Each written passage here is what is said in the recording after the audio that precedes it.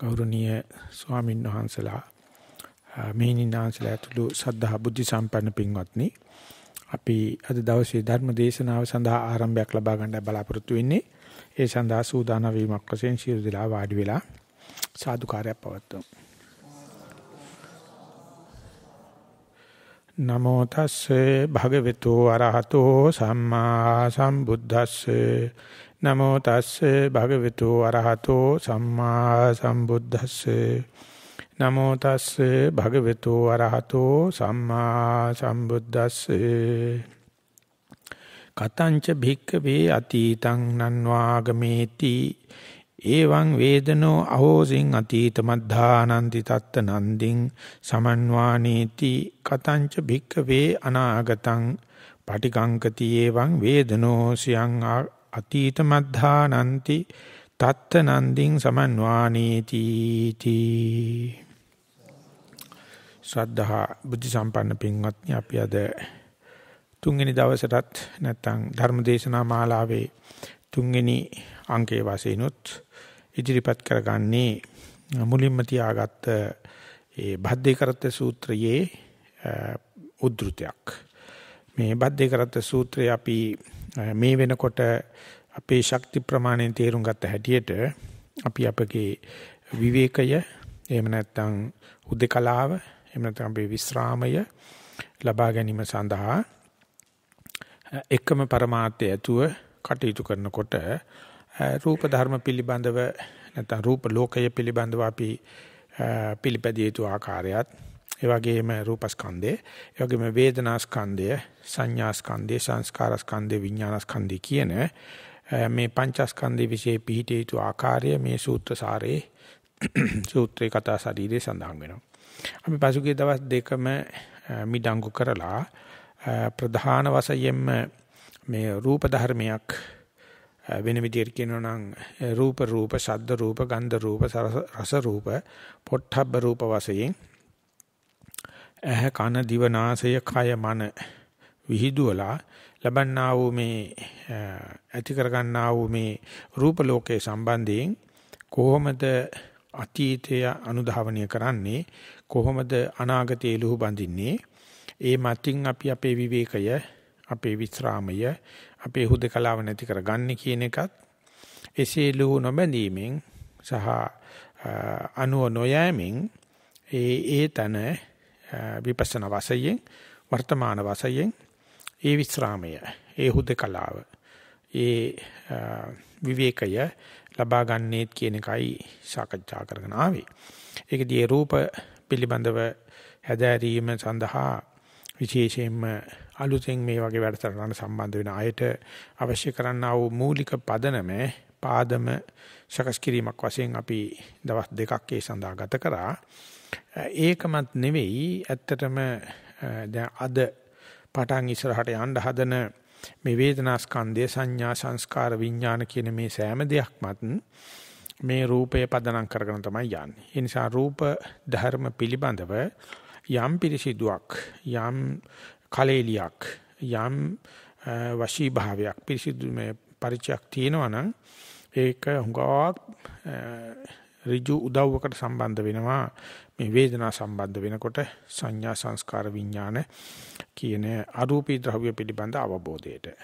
ඒ නිසා ඒ දවස් දෙක ඇතුළත අපි සකස් කරගත්ත මේ වේදිකාව ගෙපල ගෙපොල අපිට මේ අද ඉදිරිපත් කරන්න හදන වේදනා ස්කන්ධය පිළිබඳව ලොකු පිටිවහලක් වෙනවා. වේදනා ස්කන්ධය පිළිබඳව අද අපි මේ දවසේ දේශනාව වෙන් කරන අතර ඒකට ප්‍රවිෂ්ටයක් වශයෙන් සරුවචන් වහන්සේ ප්‍රශ්නෝත්තර ක්‍රමයට ඒ භික්ෂුන් වහන්සේලාට වේදනාව අනුව අතීතය ලෝ නොබඳින්නන් අනාගත සිහින නොමවණ්ඩන් යොමුක් වශයෙන් කතංච බික්කවේ අතීතං අන්වාගමේති කියලා මහණෙනි කෙසේද මේ නොපුහුණු මනසක් ඇති භාවිත මනසක් නැති කෙනෙක් අතීතයේ අනුධාවනය කරන්නේ ලුහු බඳින්නේ පසුගිය දේ පිළිබඳව ලුහු බැඳීමක් කරන්නේ.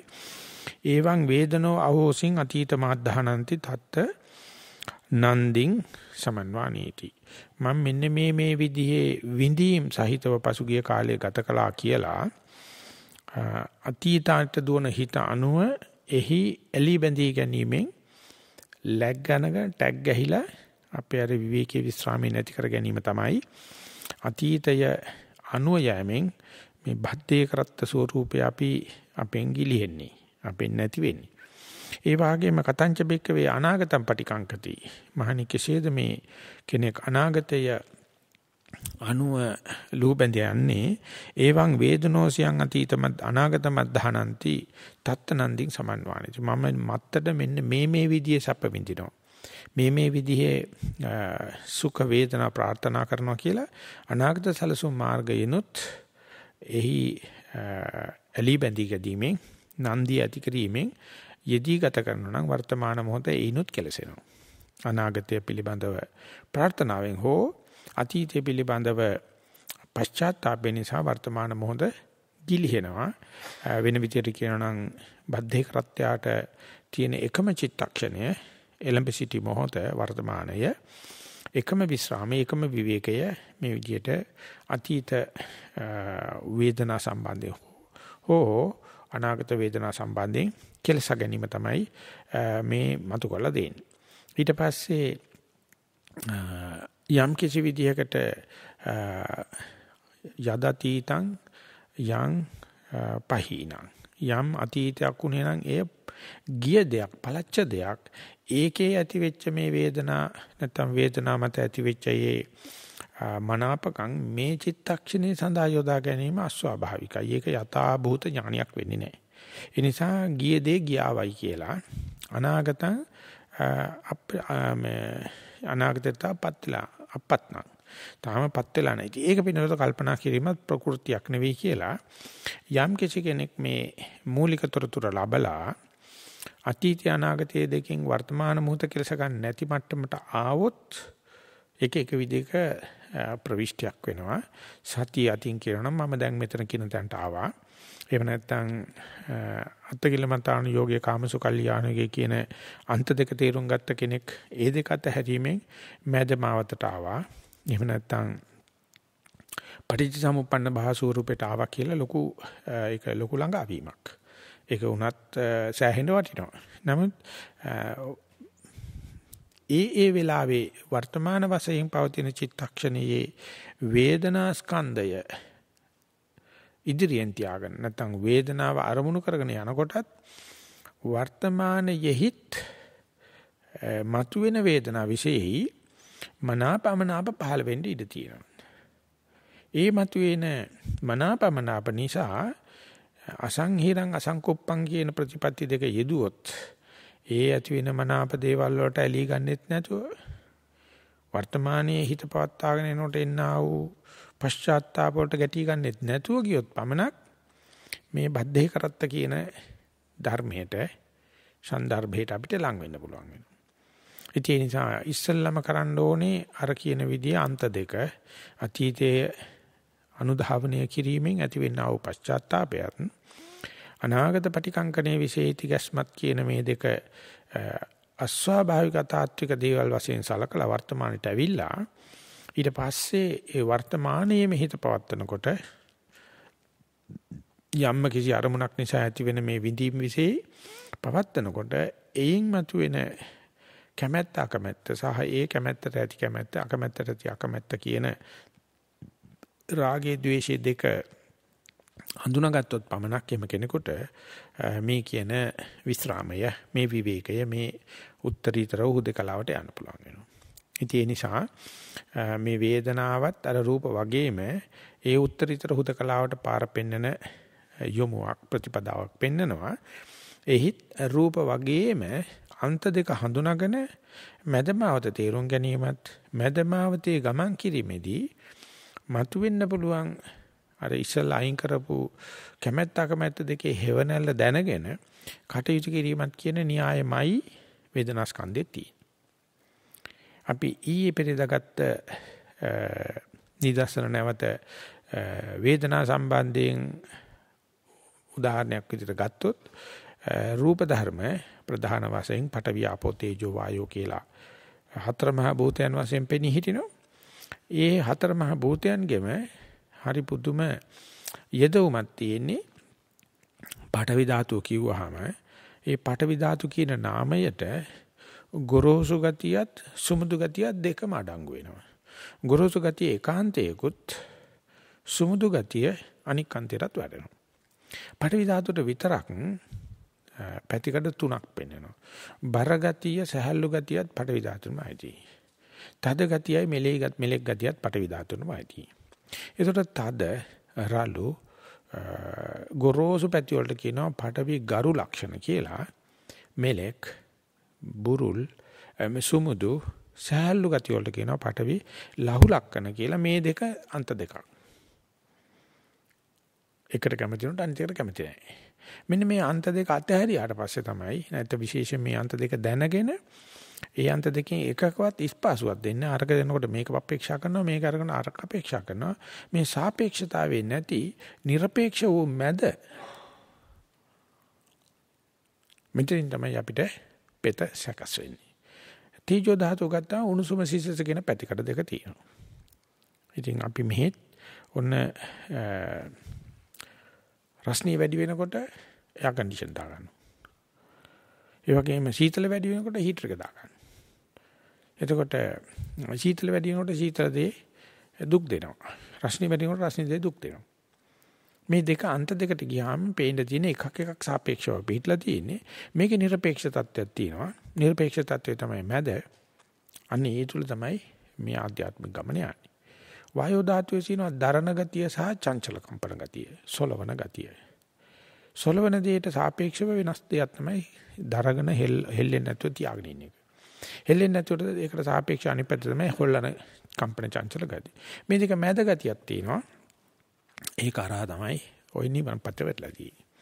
ඒ වගේම ආපෝ ගතිය තියෙනවා ආබන්ධන ගතිය. ඒකට ගුලි කරවන පිඩු කරවන ගතිය.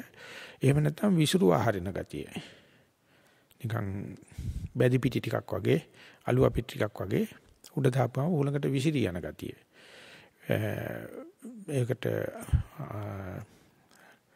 බිඩු කරන ගතිය ආබන්ධන සහ ඒ විකිරණ ගතිය දෙකක් තියෙනවා.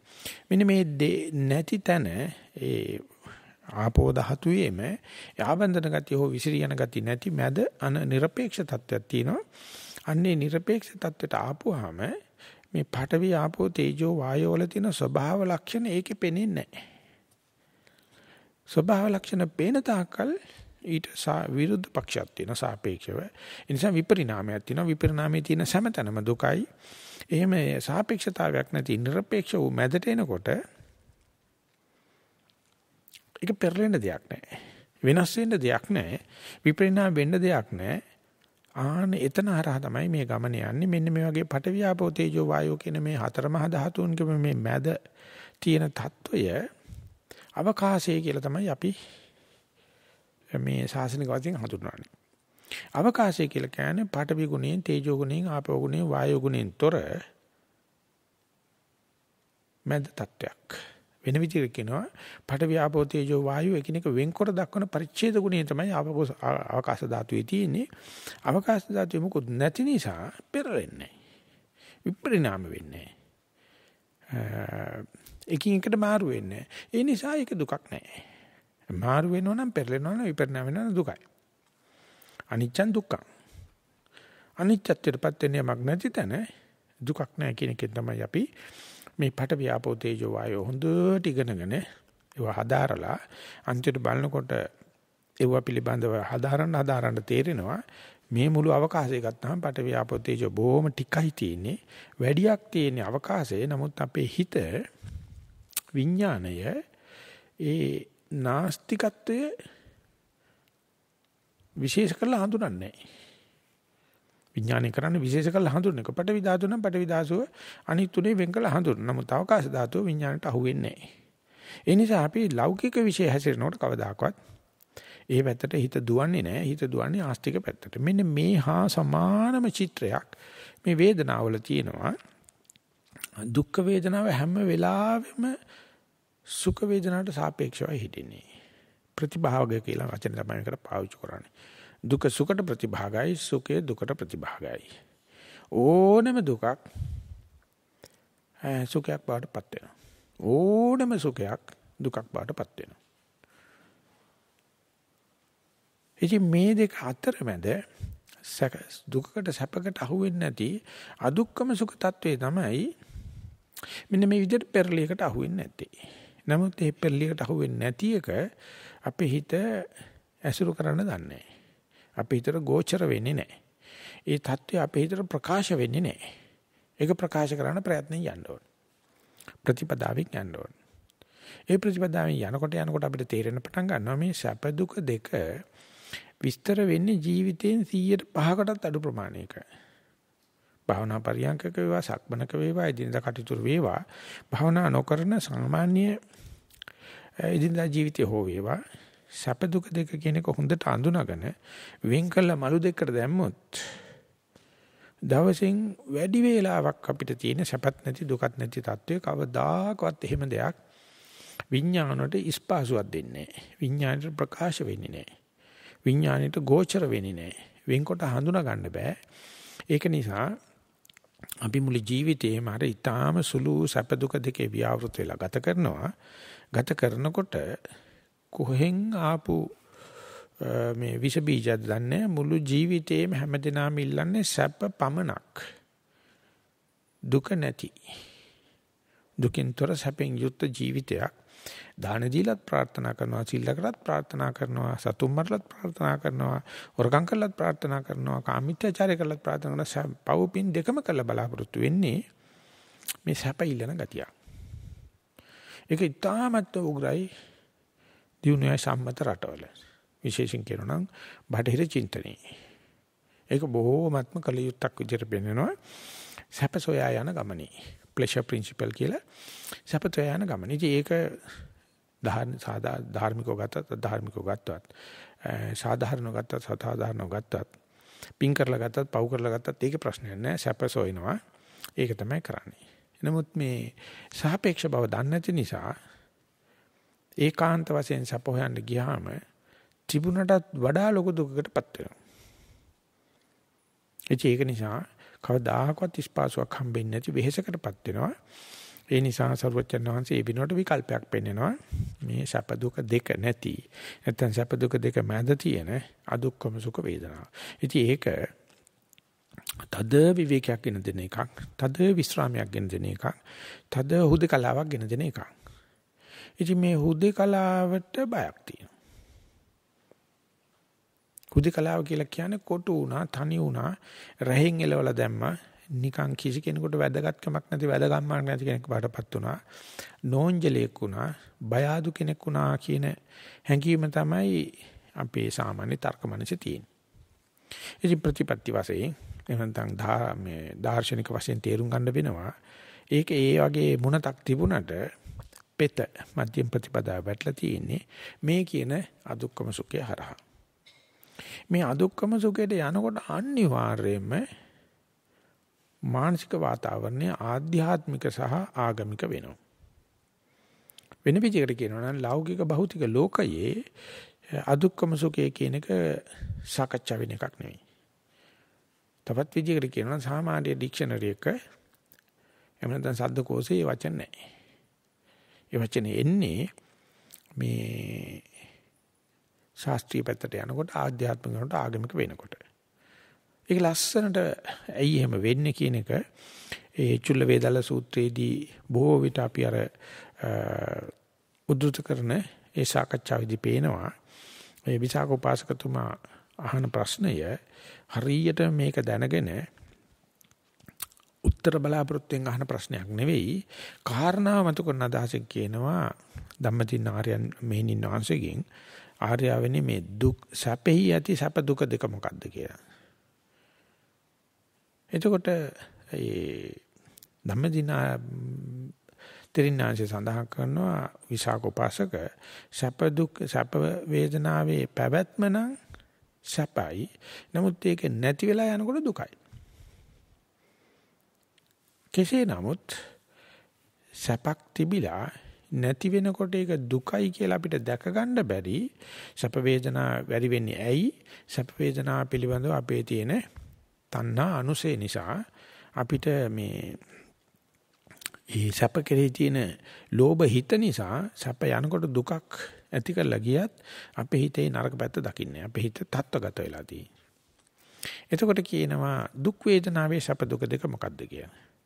ඒ ධම්මදින තෙරිනාසිගේ ආස උත්තර වෙන්නේ දුක් වේදනාව පවතිනකොට නම් දුකයි. නමුත් ඒක යනකොට සැපයි. නමුත් දුකක් ඉවරුනාට පස්සේ එන සැප දැක ගන්න බැරි පෘ탁ජනයට අර දුක කෙරෙහි තිබුණ තද ද්වේෂය නිසා. ද්වේෂය තාම වලිගේ ඉතුරුලා තියෙනවා හිතේ. ඒ නිසා දුක ගියාට පස්සේ එන සැප අඳුර ගන්න තරම් හිත තීක්ෂණ නැහැ. ඒ නිසා දුක් වේදනාව යනකොට සැපක් වෙනවා. නමුත් ද්වේෂ අනුසය නිසා ඒක දැක ගන්න විදියක් නැහැ. ඒ නිසා භාවනා කරනකොට අපි අතරමැදින් නිදර්ශනයක් ගත්තොත් පරියන්කයක ඉන්නකොට අපිට සමහර ලාවට වේදනා, දනිස් වේදනා, කොන්ද වේදනා, බෙල්ල වේදනා වගේ තැන් ආපුවාම අපි පුළුවන් තරම් උත්සාහ කරනවා අනේ මේ වේදනාව අයින් කරලා මට ආනාපාන බලන්න ලැබෙනවනම් පිම්බීම හැකිලෙන් බලන්න හම්බ වෙනවනම් නැත්නම් වෙන ගන්න මූල කර්මත්තානේ බලන්න හම්බ වෙනවනම් කියලා ඒක බොහොම සාධාරණ එහෙම නැත්නම් සදාචාරාත්මක ප්‍රාර්ථනාවක් කියලා හිතලා අර වේදනාව නැති කර ගන්නා ක්‍රම පිළිබඳව අපි ගවේෂණය කරනවා. නමුත් මේ වේදනාව ගැන එහෙම ගවේෂණය කරන්නේ වේදනාව කෙරෙන් ඇති නුරුස්නාකම නිසායි. තා ඒකට අකමැත්ත නිසායි නැත්නම් ඒකට තියෙන द्वේෂය නිසායි කියලා කවදාකවත් අනියම් භාවනා කරලා අල්ලන්න හම්බ වෙන්නේ නැහැ. ඒක අනිවාර්යයෙන්ම බුදුරජාණන් වහන්සේ හෝ බුද්ධ ශ්‍රාවකයෙක්ගෙන් අහලා දැනගන්න ඕනේ මේ වේදනාව එනකොටම අපි ඒ නුරුස්නා ගති වලටපත් වෙලා ද්වේෂ ගති පහල කරගෙන ඒ වේදනාව නැති කරන්නේ මම මූල කර්මස්ථානයේ මතු කරගන්නයි කියලා සාධාරණ නැත්නම් හේතු සාධාරණ කරුණු ඉදිරිපත් කරත් යුක්ති යුක්ති බැලුවත් මෙතන යටින් වැඩ කරන්නේ ද්වේෂානුසේ. ඒ නිසා වේදනාවකට එක්ක වැඩ කරන වෙලාවේදී කෙනෙකුට ඒ වෙලාවේ තියෙන අර චිත්තා වේගය අසහනශාලීශීලී ගතිය නුරුස්නා ගතිය අඳුර ගන්න පුළුවන් නම් ඒක හරි භාවනා ජීවිතේ ලොකු වේදනාව පිළිබඳ අඳුර ගැනීම ලොකු වෙනසක් වෙනවා. මේකට අපි මේ රූප ලෝකයෙන් නිදර්ශනයක් ගත්තොත් ආස්වාස් ප්‍රසවාස ගත්තත් ආස්වාසය කියලා කියන්නේ අපි බාහිරේ තියෙන හුලන් ටිකක් ඇතුළට ඇදලා ගන්න එක. ඒකට අපි හොඳට බැලුවොත් ආස්වාස කරන වෙලාවේදී මේ ආස්වාසයට ආවෙනිකෝ අත්‍යන්ත වූ පච්චත්ත වූ ලක්ෂණ වර්ගයක් තියෙනවා. ඒක ප්‍රස්වාසයේදී නැහැ. ප්‍රස්වාසය යනකොට ප්‍රස්වාස වාතය කියලා කියන්නේ ඇතුලේ තියෙන එක පිටතට යන වෙලාව. එතකොට ඒකේ තියෙනවා ආස්වාසය නැති ප්‍රස්වාසයට ආවෙනිකෝ ලක්ෂණ. ඉතින් කියනවා හොඳට භාවනා කරලා විශේෂයෙන්ම විපස්සනා උපදෙස් දෙනකොට ආස්වාසයලාවේ ආස්වාසය අත්දකින්න ප්‍රස්වාසය මෙන් කළ බලන්න. ප්‍රස්වාසයලාදී ප්‍රස්වාසය අත්දකින්න ආස්වාසය වෙන් කළ බලන්න කියලා මේ ටික හරියට සපේලා උත්තර දෙන්න පුළුවන් නම් ඒක ඇත්තටම භාවනාවේ 50ක විතර දියුණුවක්. මේ සමානම දෙයක් මේ දුක් වේදනා මේ සාකච්ඡා කරන මාතෘකාවේ තියෙනවා. අපි හිතමු ඒ දුක් වේදනාව ආවේ මේ බාහිර දෙයක ගැටිලා හෝ එහෙම නැත්නම් වාත අමාරුවක් නිසා හෝ එන්ටන් සක්මන් කරගන්න බැරි නිසා හෝ මොනවා හරි හේතුවක් නිසායි ඒ දනිස් වේදනාව එහෙම නැත්නම් කොන්ද වේදනාව බෙල්ල වේදනාව එන්නේ. ඉතින් මේ වේදනාව ආවට පස්සේ ඒක අනිවාර්යයෙන්ම මූල කර්මත්තානේ මොහා කරනවා. මූල කර්මත්තාන බාධා කරනවා. යම් මට්ටමකදී. අන්නේ බාධා කරනවත් එක්කම අපිට අර මූල කර්මස්ථාන ගැන කරගෙන යෑමේ තැති givisuma නිසා මනාපේ නිසා. මේ වේදනාවේ තියෙන පෙළන තවන ගතිය සහ මූල කර්මස්ථානයේ මුහා කරන ගතිය නිසා මේක පිස හැර දැමීමේ එහෙම නැත්නම් නුරුස්නා ගතියක් ද්වේෂයක් පහළ වෙනවා. මේ ද්වේෂය නැත්නම් මේ ද්වේෂ අනුසය ඇතුලෙන් පිටතට එන එක ඉස්සල තිබුණේ පිටින් ඇතුලට එන එක ඉතින් යම් කෙනෙකුට දුක් වේදනා පිළිබඳව වේදනානුපස්සනාවක් වශයෙන් නෙවෙයි මේ විපස්සනා වශයෙන් බලනකොට බාහිරේ හේතුවක් නිසා මේ වැද ගන්න හදන වේදනාවත් ඒ සඳහා ප්‍රතික්‍රියා කිරීමක් වශයෙන් ඇතුලේ තියෙන පිටතර ගලන මේ ආශ්‍රවයත් මේ ශ්‍රාවයත් මේ මෝදු වෙන ද්වේෂයත් දෙක වෙන්කොල්ල හඳුනා ගන්න බැරි නම් පරාදයි. හරියට ආස්වාසයෙන් ප්‍රසවාසයෙන් වෙන්කොල්ල හඳුනනවා වගේ. ආස්වාසය කියලා කියන්නේ ඇතුලෙන් පිටතට එන එක. ප්‍රසවාසය කියලා කියන්නේ පිටින් ඇතුලට යන එක. ඒ වගේ තමයි වේදනාව ඇති කරන හේතුව මේ කාරණාවදී අපිට කියන්න පුළුවන් පිටින් යන හේතුවක් නිසා වේදනාවක් ඇති වෙනවා. ඇති වෙන වේදනාවට අපි ඇති කරගන්නා වූ මේ द्वේෂය ඇතුලේ ඉඳලා පිටතට යන එක. මේ දෙක වෙන් කර ගන්න හඳුනා ගන්න බැරි නම් ඒ මනුස්සයා නිගමනයේට එනවට පිටින් ආපු වේදනාව නරක එකක් ඒක දුක් දෙන එකක් ඒකෙන් තමයි දුක එන්නේ කියලා. නමුත් සරුවචනාංශ කියනවා ඒක නෙවෙයි ප්‍රශ්නේ පිටින් ඇතුළට එන එක නෙවෙයි ප්‍රශ්නේ ඒක හඳුනාගෙන ඒකට නම් කරලා ඒකට දක්වන මේ ප්‍රතික්‍රියාවේ තමයි මේ දුක රැඳෙන්නේ කියලා. නමුත් ඒක ඒ විඳිනගෙන ඇති කරගන්න එකක්. ඒ වෙලාවට වක් කරන එකක්. ඒ වෙලාවට ගලන ශ්‍රාවයක්. ආශ්‍රව කියලා කියන්නේ ඌවට. එහෙම නැත්නම් මෝදු වෙන එකක්. මෙන්න මේ දෙක වෙන් කර ගන්න හඳුර ගන්න බැරි තාකල් අපි සාධාරණ සටනක් සටන් කරනවා. දුක් වේදනාව නැති කරන්න ඕනේ. මූල කර්මස්ථානේ මතු කරන්න ඕනේ. ඒ නිසා දුක් වේදනාවට වෛර කෙරුවත් කමක් නැහැ කියලා වගේ. මොකද සරුවචනාංශය කියනවා මෙන්න මේ වෛර කිරීම මත තමයි මුළු චිත්‍රෙම කඳුරු වෙන්නේ. නිසා කවදා හෝ දුක් වේදනාවක් එනකොට යටින් වැඩ කරන්නා වූ ඒ අනුශේ ධර්මයේ දැක්කොත් ඒ පුද්ගලයාට මේ දුක මිහිරියාවක් වෙනවා කිය. සල්ල සූත්‍රයේ සඳහන් කරනවා ඇඟේ උලක් යනුනහම ඉතින් රිදෙනවා.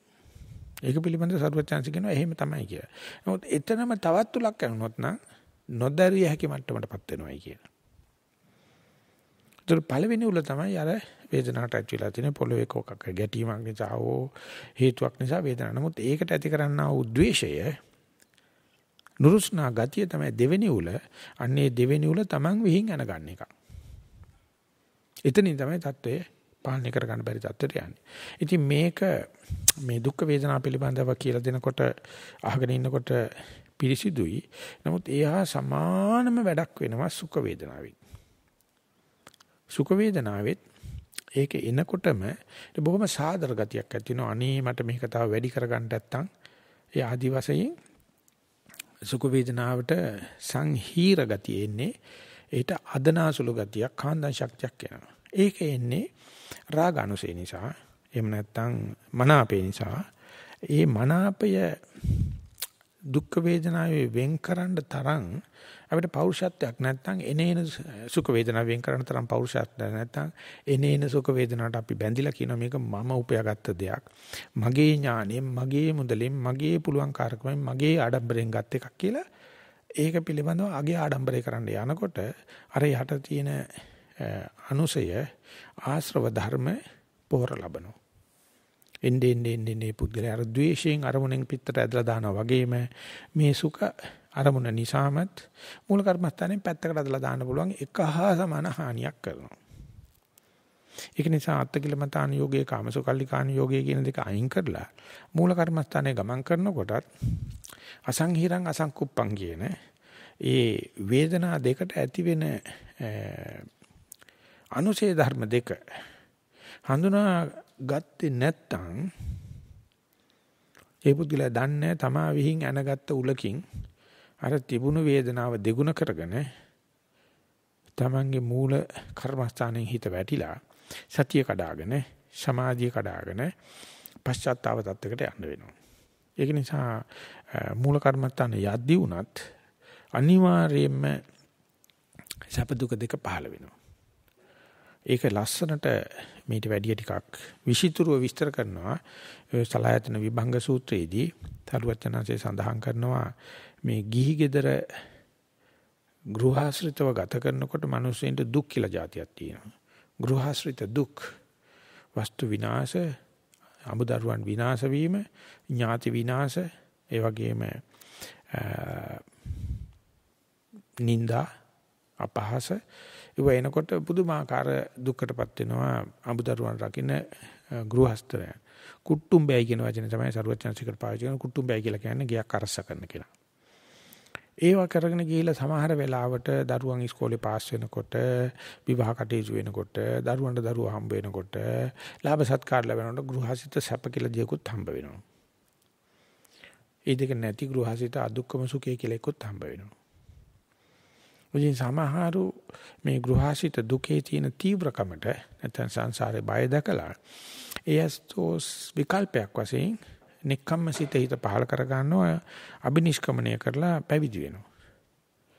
ඔය පැවිදි වුණාට පස්සේ තේරුම් ගන්න වෙනවා අර ගේසිත දුක වගේම නික්කම්ම සිත දුක කියලා එකක් තියෙනවා.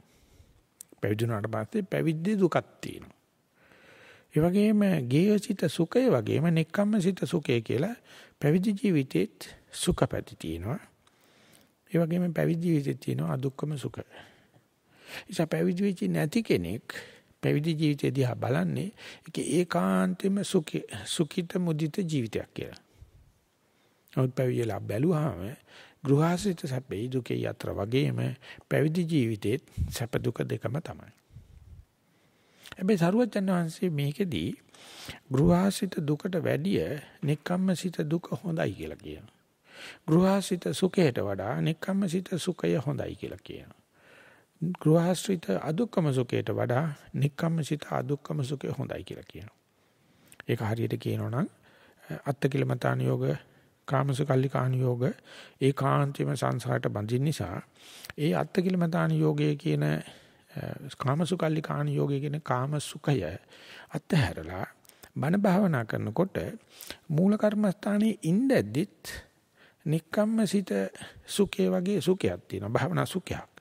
ඒ වගේම අත්කිලමතාන යෝගේ ආත්ම ක්ලමතේ කරනවා වගේ භාවනා කරනකොට තමන් ක්ලාන්ත වෙන විදිහේ දුකක් තියෙනවා. මේ දෙකට අර අත්කිලමතාන යෝගේ කාමස කල්ලිකෝණේ යෝගේ වගේම රාගානුසය සහ දෝසානුසය මුවා කරනවා. ඇති දේ ඇති හැටියට දැක ගන්න බැරි වෙනවා. ඉතින් ඒ නිසා සරුවචනාංශයේ මේ ගේ සිත සුඛ, නෙක්ඛම්ම සිත සුඛ, ගේ සිත දුක, නෙක්ඛම්ම සිත දුක වගේ ආමිෂ දුක, ආමිෂ සුඛ, අනිරාමිෂ දුක, නිරාමිෂ සුඛ කියලා මේ සංසන්දනාත්මකව පෙන්ලා දෙනවා. විශේෂයෙන්ම අර ගේසිත තත්වෙන් අයින් වෙලා නෙක්කම්මසිත තත්වයට ඇවිල්ලා මේ වගේ බණ භාවනාවක් කරනෝ එහෙම නැත්නම් පැවිදි වෙලා ගත කරන කෙනාට අරතරම්ම ඝන බහල නැති වුණාට ඒ ආරෙටම භාවනා කරනකොට එනවා සැප දුක් දෙකක්. අර භාවනා නොකරන කාලේ තිබුණට තිබුණු දුකට ද්වේෂයත් සැපට ආසාව වගේම භාවනා කරනකොට එන දුකටත් භාවනා කරන සැපටත් තරහස ආසාව පහළ වෙනවා. ඒ දෙක අයින් කරන්න නම් අරකින් ආදර්ශය ගන්නව විතරක් නෙවෙයි මේක පිළිබඳව ප්‍රතිපදාවේ කියවිලා තියෙන කාරණා හොඳට දැනගෙන යන්න ඕන. අපි අර ඊයේ පෙරදගත්ත නිදර්ශන ගත්තොත් අපි පොදු සම්මතියක් වශයෙන් ආනපන සතිය භාවනා කරගෙන යන කෙනෙක් කියලා ගනිමු අපි නිදර්ශනයේ එහෙම කරගෙන යනකොට ඒ ඔක්කොම සැප පහසුකම් අතහැරලා ආරණ්‍ය ගත වෙලා රුක්ක මූල ගත වෙලා කමඨාණක් ලබාගෙන පරියන්ක හත අටක් කරලා ඕන අපි හිතමු ආනාපානට මුහුණ දාගත්තයි කියලා. ඒකට යෝගාවචරයට හරියට බයිසිකල් එකක් සම්බර කරගෙන යන්න පුළුවන් වගේ ආනාපානට මුහුණට මුහුණ දාගෙන ඉන්න පුළුවන් වෙනවා. එහෙම ඉන්නකොට ආනාපාන ක්‍රමයෙන් ක්‍රමෙන් තුනී වේගන යනකොට ඒ කෙරෙහි නීරසකම පහළ වෙනවා. කම්මැලිකම ඒකාකාරීකම සමහරට නින්දට වැටෙනවා සමහරට නොතේරි යන ගතිය එනවා එතකොට යෝගාවචරයට නින්දට වැටීම නිසා හෝ සැකයපචීම නිසා හෝ හයියෙන් හුස්ම ගන්න යාම නිසා හෝ දුකකටපත් වෙනවා. ඒ මොකද එයා දන්නේ නැහැ මේක තමයි ක්‍රමේ. ඒ මන්දිවට ඒයිට යටින් ද්වේෂානුසයෙන් ඉන්න පටන් ගන්නවා. එතකොට මේ හරියට භාවනාවේ යද්දිත් මධ්‍යම ප්‍රතිපදාවේ යද්දිත් ඒකට ද්වේෂානුසය නිසා තද ඝර්ෂණයක් ඇති වෙනවා. ඒකට හුඟ දෙනෙක් භාවනාව අතාරිනවා. එහෙම නැත්නම් ධර්ම සාකච්ඡා කරාට කමඨාන් සුද්ධ කරාට මේ කාරණාව සුද්ධ වෙනකන් මේ කාරණාව හරියට පටහැරලා බේරුම් ගන්නකම් ඒ යෝගාවචරයේ ඉන්නේ පුදුමාකාර වෙහෙසක භාවනා නොකරන කායට වඩා වෙහෙසක දැන් ඉන්නේ. මොකද එක පැත්තකින් හිත කියනවා මේ මූලට මූණ දාලා අරමුණේ තියෙනවායි කියලා. නැත්නම් කලින් ආපු බණකේ නිසාව. නමුත් මූණට මුල අරමුණ දාලා තිබුණාට එපා වෙලා. කම්මැලි වෙලා, නීරස වෙලා, නිින්ද ගිහිල්ලා. එතකොට මේ දෙක අතර තියෙන මේ සැලෙන ගතිය නිසා යෝගාවචරයට මුලින්ම හම්බ වෙන්නේ ඔය නෙක්කම්මසිත දුක. වැඩි හරි ගිහිල්ලා තියෙද්දිත් ඒකාකාරී ගතියක් පේන නිසා ඒකට හේතුව ඒ යෝගාවචරයා මේ විවේකයේ කියන එක හඳුනන්නේ විස්්‍රාම වීම කියන එක හඳුනන්නේ හුද්දකලාව කියන එක දන්නේ නැහැ. දන්නේ මේ සිලිලාරයේ සහිත සනකෙලියක තියෙන ආමිෂ සුඛේ විතරයි. ඉතින් අල්ලගත් අරමුණ එන්නේ එන්නේ සියුම් වේගන යනකොට විස්රාම වේගන යනකොට විවේක වේගන යනකොට මේ හුදකලා වේගන යනකොට ඇතිවෙන द्वේෂය නිසා ඒක කම්මැලිකමක් නිදිමත ගතියක් ඒකාකාරී ගතියක් වශයෙන් द्वේෂයක් පහළ වෙන්න ඉඩ තියෙනවා. ඉතින් ඒක මේ ප්‍රාර්ථනා කළාවත් දන් දීලාවත් තිල් රැකලාවත් ගුරුවරයාගේ ග්‍රේස් එකෙන් නැත්තම් සුභාසින්සල් වලින්වත් අයින් කරන්න බෑ. ඉතින් යෝගාචර හරියටම දැනගෙනම මේක මෙතෙන්දී එන එකක් මම මේ මේ තියේද්දිත් මේ ඒකාකාරීකම දැනගෙන මෙනෙහි කරලා අරමුණ දිගේ යන්න ඕනේ කියලා ඒක ගෙවන් කෙරුවට පස්සේ විශේෂයෙන්ම කායනුපස්සන කොටස සංසිඳව ගත්තට පස්සේ අර පීචි පරිසංවේදී සුඛ පරිසංවේදී කියලා ඒ තමන්ගේ ජයග්‍රහණය නිසාම ආලෝකයක් සහැල්ලු ගතියක් විවේකයක් ලැබිලා උදම්මනන්න පටන් ගන්නවා ඒ උදන් ගැනීම නිසා සුඛයකටපත් වෙලා සුඛයටමත් වීම නිසා අරමුණ මෙනෙහි නොකර ගිලිහෙන්න ඉඩ තියෙනවා. ඒකත් නිර්ාමිෂ වැටවිච්ච සුඛයක්. ඒ අනුය පහළ වෙච්ච රාගානුසයත් නිසා යෝගාවචරය අරමුණෙන් පිටපයින්නවා. හැබැයි මේ අරමුණෙන් පිටපැනීම හේතු වෙන රාගානුසය හෝ ප්‍රීතිය එහෙම නැත්නම් මේ අරමුණෙන් පිටපැනීමට හේතු වෙන නිදිමත ගතිය සහිත ද්වේෂානුසය සහිත ද්වේෂය අර ඉන්ද්‍රියංගෙන් ලැබෙන කාමසුඛයට වගේ නෙවෙයි ඊට වැඩිය ආධ්‍යාත්මිකයි. ඊට වැඩිය ධාර්මිකයි ඊට වැඩිය සියුම්. මොහානිය නම් එක විදියමයි.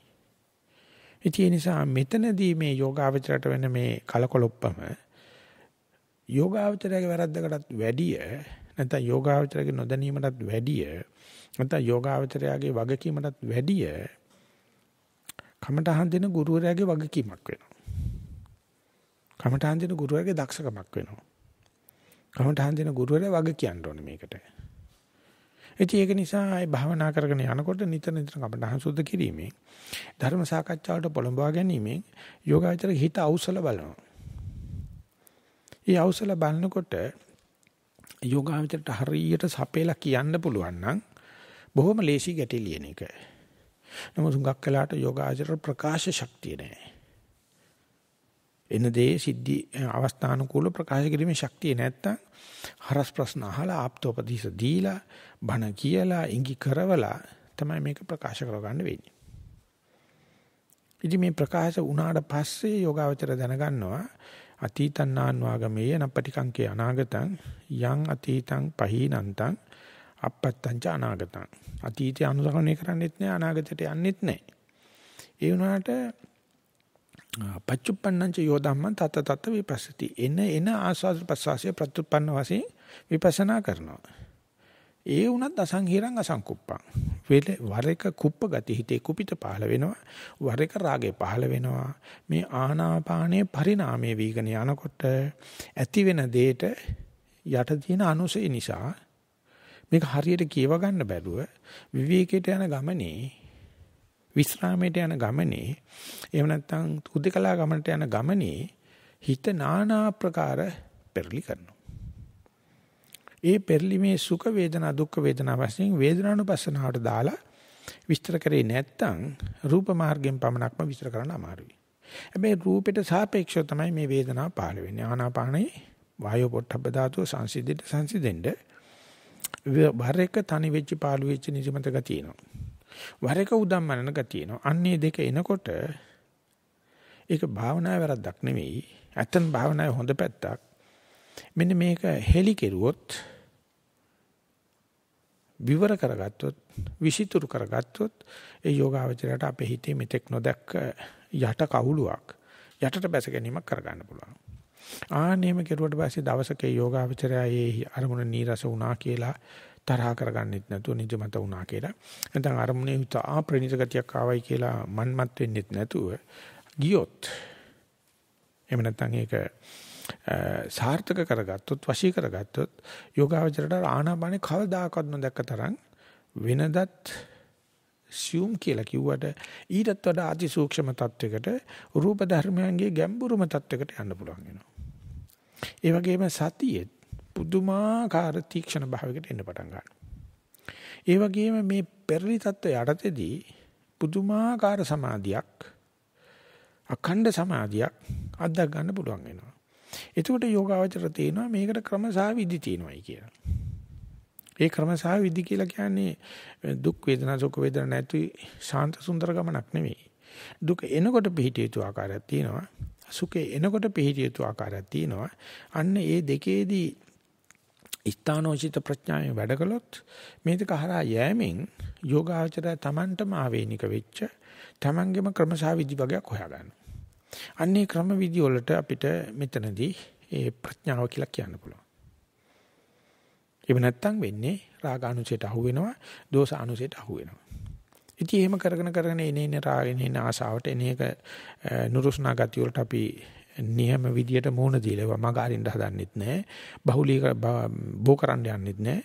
එනේ විදියට මෙනෙහි කරමින් මූල කර්මත්තාන්ට වාංගු කරගෙන කරගෙන කරගෙන ගියොත් යෝගාවචරය ගිහිල්ලා රොක් වෙන්නේ ගිහිල්ලා තැම්පත් වෙන්නේ අධික දුකකුත් නැති අධික සුඛයකුත් නැති මධ්‍යස්ථ තත්වයකට. මේ தත්වෙට එනකොට අර සැප දුක තියෙනකොට නම් රණ්ඩු වෙන්න කෙනෙක් තියෙනවා දැන් රණ්ඩු වෙන්න කෙනෙකුත් නැහැ. එතනදිත් යෝගාවචරය ආයසරයක් මේ උත්තරීතර හුදකලාව අඳුරන්නේ නැති කෙනා එහෙම නැත්නම් මේ විස්රාමයේ කියන එක දන්නේ නැති කෙනා එහෙම නැත්නම් මේ විවේකයේ කියන දන්නේ නැති එක්කනා මේ අදුක්කම සුඛයට ආවට පස්සෙත් පාළු ගතියක් ගැන කතා කරනවා. තනි වෙච්ච කෙනෙක් ගැන කතා කරනවා. ඉතින් මෙතනදී අපිට ආයෙ යන්න වෙනවා අර විචාකෝපාසුතුමාගේ ධම්මදින තෙරින්නාසගේ ධර්ම සාකච්ඡාවට අර සැප දුක දෙක පිළිබඳව කරුණු විසදලා විමසගත්තට පස්සේ ඒ ලැබෙන දැනුමින් විසාකතුමා අහනවා ධම්මදින තෙරින්නාසගෙන් ආර්යයන් මේ අදුක්කම සුඛ වේදනාව ඇති සැප දුක දෙක මොකක්ද කියලා. එතකොට ධම්මදින්නාව කියනවා අදුක්කම සුඛ ආයුෂ්මතුනි උපහසක දන්නවනම් සැපයි නොදන්නවනම් දුකයි. මේකට හේතුව මෝහානුසය. අවිද්‍යාව. අන්ධකාරය. නැත්තම් තකතිරුකම. ඉතින් අර විදිහට අසංහිරව අසංකුප්පව ගැටෙන්නෙත් නැතුව සැලෙන්නේ එහෙම නැතුව අමන්දානන්දයටපත් වෙන්නෙත් නැතුව අපි මේ දෙක හරහා ගිහිල්ලා මේ උපය ගන්නාලාද සාමාන්‍ය මට්ටමේ අදුක්කම සුඛ වේදනාව මේක අදුක්කම සුඛයයි කියලා දන්නේ නැත්නම් යෝගාවචර ගොඩ දාපු මාළුවෙක් වගේ සැලෙන්න පටන් ගන්නවා. කොට්ට උඩ තිබ්බ කූඩැල්ලෙක් වගේ අර පරණ පුරුදු සැප දුක දෙකට දුවන්න හදනවා. නමුත් ඒ වෙනුවට මෙතෙක් මෙතෙන්ට එනකන් දුක එනකොට තමයි ඒකට හරියට ප්‍රතික්‍රියා නොකර මේ දුක මගේ කියා ගන්න නැතුව හැසිරීමෙන් දුක පොඩ්ඩක් පැත්තකට කරලා මූල කර්මත්තානේ මතු කරගෙන සැපේනකොට ඒකට උදමනන්නෙත් නැතුව ඒක රාගානුසේ වැවෙන්න පොහොරක් නොදී කරගෙන කරන ගිල්ල මේ අදුක්කම සුඛේ එනකොට මේක අදුක්කම සුඛේ කියලා දන්නවනම් අර අත්තිකිලමතාන යෝගයේ කාමසුකල්ලිකාණේ යෝගයේ අතහැරීම වගේම අබිනිෂ්ක්‍මණයක් සිද්ධ වෙනවා මෙතන. එහෙම නැත්නම් ගෙවන් කිරීමක් සිද්ධ වෙනවා. ගෙවා දැමීමක් සිද්ධ වෙනවා. ඒ ගෙවා දැමීම හරහා යෝගාවචරයා ලදලද චිත්තක්ෂණේ මේ අදුක්කම සුඛේ ලැබෙනවා කියන්නෙම විවේකයක් බවත් අදුක්කම සුඛය කියන්නෙම හුදකලාවක් බවත් අදුක්කම සුඛය කියන්නෙම විස්රාමයක් බවත් සංසාරේ කවදාකවත් අදුක්කම සුඛේ මුහුණට මුහුණ දාලා මේ තියෙන අදුක්කම සුඛය කියන එක අපි දැනගෙන හිටියේ නෑ කියන එකක් දැකපු දවසේ යෝගාවචර දිනවා මේක මනුස්ස මනසට පමණක්ම ආවේනික වෙච්ච සුවිශේෂී තත්වයක්. තිරිසනාට නැහැ. යක්ෂයෙකුට හෝ ප්‍රේතයෙකුට හෝ වෙන කාටවත් නැහැ. මනුස්ස ලෝකේ මිනිස්සෙකුට විතරක් ලැබිය යුතු හැකි එකක්.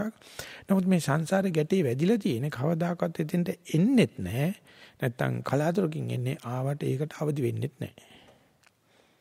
ඉතින් මේ වගේ සම්දිස්ථානවලදී සරුවත්‍යංශය දේශනා කරනවා තථාගතප්ප වේදිතෝ භික්කවේ ධම්ම විනයෝ විවටෝ විරෝචති න පටිච්චන්නෝ මහණෙනි තථාගතයන් වහන්සේ විසින් දේශනා කරන ලද ධර්මය විවෘත කරන්න කරන්න බබලනවා වැහෙන්න වැහෙන්න ඒක අකමක යනවා. ඉතින් මෙතෙන් මේ විවේකයට අර්ථකථනයක් දෙනවා නම් විස්රාම් බවට අර්ථකථනයක් දෙනවා නම් මේ කියන හුදේකලාවට අර්ථකථනයක් දෙනවා නම් අදුක්කම සුඛය හරහා ඒකට එළඹිලා මේ තමයි අදුක්කම සුඛය කියලා එක විවර කරගත්තොත් යෝගාචර තේරෙනවා මේ අදුක්කම සුඛයෙන් Taman එළියට ඇදලා දාන්න එහෙම නැත්නම් මේකට උඹට ඊට පස්සේ එන්න දෙන්නේ නැහැ කියන්නේ කිසිම බලවේගයක් ලෝකේ නැහැ. තියෙන එකම දේ මේකට නුරුස්නා ගතිය නම් තමන්ගේ තක తీරුකමමයි. තමන්ගේ අවිද්‍යාවමයි. මෝහෙමයි. ඉතින් මේ මොහය අයින් කරන්න තමයි අපි ගේසිත සැප දුක දෙක අයින් කරලා මූල කර්මස්ථානයකට බහැලා මූල කර්මස්ථානයේ හරහින නුරුස්නා ගති සහ රුස්නා ගති තීරුම් අරගෙන ප්‍රතික්‍රියා නොකර දහසකුත් වරක් උත්සාහ කරලා මේ අදුක්කම සුඛය කියන එක හඳුනාගත්තාම ඒ යෝගාචර තිනවා මේක මානව හිතේ එදා ඉඳලම තිබුණ එකක්.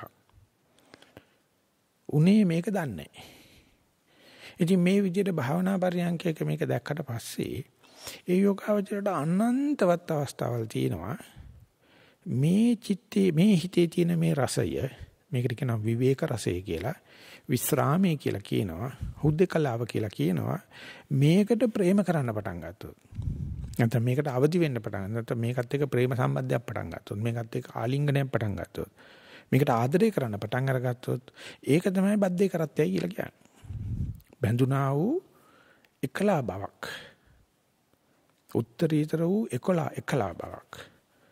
තනිව හැසිරෙන ගතියක්. දුකට අත දෙන්නෙත් නැහැ, සැපට අත දෙන්නෙත් නැහැ. අතරමැද තියෙන අවස්ථාව මේක নিরপেক্ষ තත්ත්වයක්. සැප දුක කෙරෙහි අපේක්ෂාවක් තියෙනවා. නැතුව මේ ලෝකේ පවතින්නේ දුක් සැප කෙරෙහි අපේක්ෂාවක් තියෙනවා සාපේක්ෂයි. මේ දෙක මැද තියෙන මේ අදුක්කම සුඛය নিরপেক্ষයි. හැබැයි මේ අදුක්කම සුඛය ප්‍රශස්තම தත්ත්ව නෙවෙයි මේ. ඒකට මේ යන්තම් පිවිසුණා. ඒකම යෝග ජීවිතයේ විශාල මේ සම්දිස්ථානයක් වෙනවා. ඒ වගේම තමයි මෙතෙක් කල ජීවිතේ දිහා බලපු හැටි. එහෙම නැත්නම් ව්‍යසනයක් අමලියක් කරදරයක් කියන එක දිහා බලපු හැටි පිළිබඳව සම්පූර්ණ නැවත සලකා බලන්න පුළුවන් තත්යකට එනවා. මොකද යෝගාවචර තේරෙනවා හොඳ දෙයක් වෙනකොටම රාගානුසය නිසා ඒ தත්ත්වය මුවා කරනවා. නරක දෙයක් වෙනකොටම පටිඝානෝසේ නිසා අපි අන්න බෙන්ද වෙනවා කලකුල වෙනවා. රාග දෝෂ මොහ නැති වෙනකොට ඒ තියෙන අතරමැදි தত্ত্বය මේක විවේකයක් විස්රාමයක් හුදකලා බවක් විදිහට දකින්නේ මම කොටු වුණා තනි වුණා පාළු වුණා ඒකාකාරී වුණා නීරස වුණා කොන් වුණා කියලා ඒකට වෛර කරන්න පටන් ගන්නවා. ඔන්න ඕකට තමයි අවිද්‍යාව කියන්නේ. ඕක පිළිබඳ දැනීමට තමයි විද්‍යාව කියලා කියන්නේ. ඒ විද්‍යාවට තමයි අන්වර්ථ නාමිකෙන් කියන්නේ බද්දේ කරත්ත කියලා. භද්‍ර කියලා කියන්නේ බොහොම උත්තම වූ මංගල වූ එකලා බවට කැමැත්තා. ඉතින් මේ එකලා බව අපි කියන විවේකය සරුවචනාංශය කියන මේ කායික විවේකයේ වශයෙන් ඇලි ගලි වාසයෙන් අයින් වෙලා අරණ්‍යගත වීමෙන් රුක මූලගත වීමෙන් ශූන්‍යගතගත වීමෙන් තුنين එකකින් අපි සපය ගන්නවා. ඊට පස්සේ ඒක සාමාන්‍යයෙන් කියන වීතිකම කෙලස් වලින් අයින් කර ගන්නවා කිය. ඊට පස්සේ ඒ අතුලට ආවත් නීවරණ වැඩ කරනවානේ. කාමච්ඡන්ද ව්‍යාපාද වශයෙන් ඊට පස්සේ මූල කර්මස්ථානයකට වාංගු වෙලා ඒ කාමච්ඡන්ද ආදී නීවරණ නැති කරගෙන එයින් ඇති වෙන්න පුළුවන් ඇති කරන්න නීවරණ නැති කරන්න යාමේදී ඇති වෙන හටනේදී වෙන පීඩාවත් අයින් කරලා නීවරණ නැති කිරීම පස්සේ ඇති වෙන ධ්‍යානමේ ප්‍රීති සුඛයට බැඳෙන්නෙත් නැතුව අදුක්කම සුඛයට ආවට පස්සේ ලැබිය යුත්තේ ඒ අදුක්කම සුඛයයි වර්ධනය කළ යුත්තේ ප්‍රේම කළ යුත්තේ තන වඩාගත යුත්තේ අදුක්කම සුඛය කියලා දන්නේ නැත්නම් ඉතින් යෝගාවචරයා අර ධ්‍යාන සුඛයට ඇලී ගත්තොත් එතකොට බද්දේ කරත්ත වෙන්නේ එතකොට පක්ෂග්‍රාහීකමක් ඇති වෙනවා. එතකොට වංග ගතියක් ඇති වෙනවා. වටවලල්ල කියලා ආය සංසාරයට වැටෙනවා. අදුක්කම සුඛය කියලා කියන්නේ අනන්තය දක්වා විහිදෙන කිසිම පැත්තට චපල ගතියක් නැති මැද රේඛාවක්. ඉතින් ඒ නිසා අපි අඳුනා ගැනීමේදී හරියට වෙන් කරලා දුකෙන් සැපෙන් ගේසිත නෙක්කම්මසිත සැප දුක නැත්නම් ආමිෂ නිර්ආමිෂ සැප දුක දෙකෙන් අයින් කරලා අදුක්කම සුඛේ තේරුම් ගන්නවා කියන එක හරිම අමාරු විශේෂක දාලා උගන්වන්න තමන්ගේ අත්දැකීම නැති කෙනාට කොහොමඩක්වත් තේරුම් ගන්න බෑ. ඒකේ උපයීමේදී එහෙම නැත්නම් ඒක තමන්ට ලබා ගැනීම සඳහා භාවනාවෙන් කිසිම වගතුවක් නැහැ කිසිම වැඩකුත් නැහැ.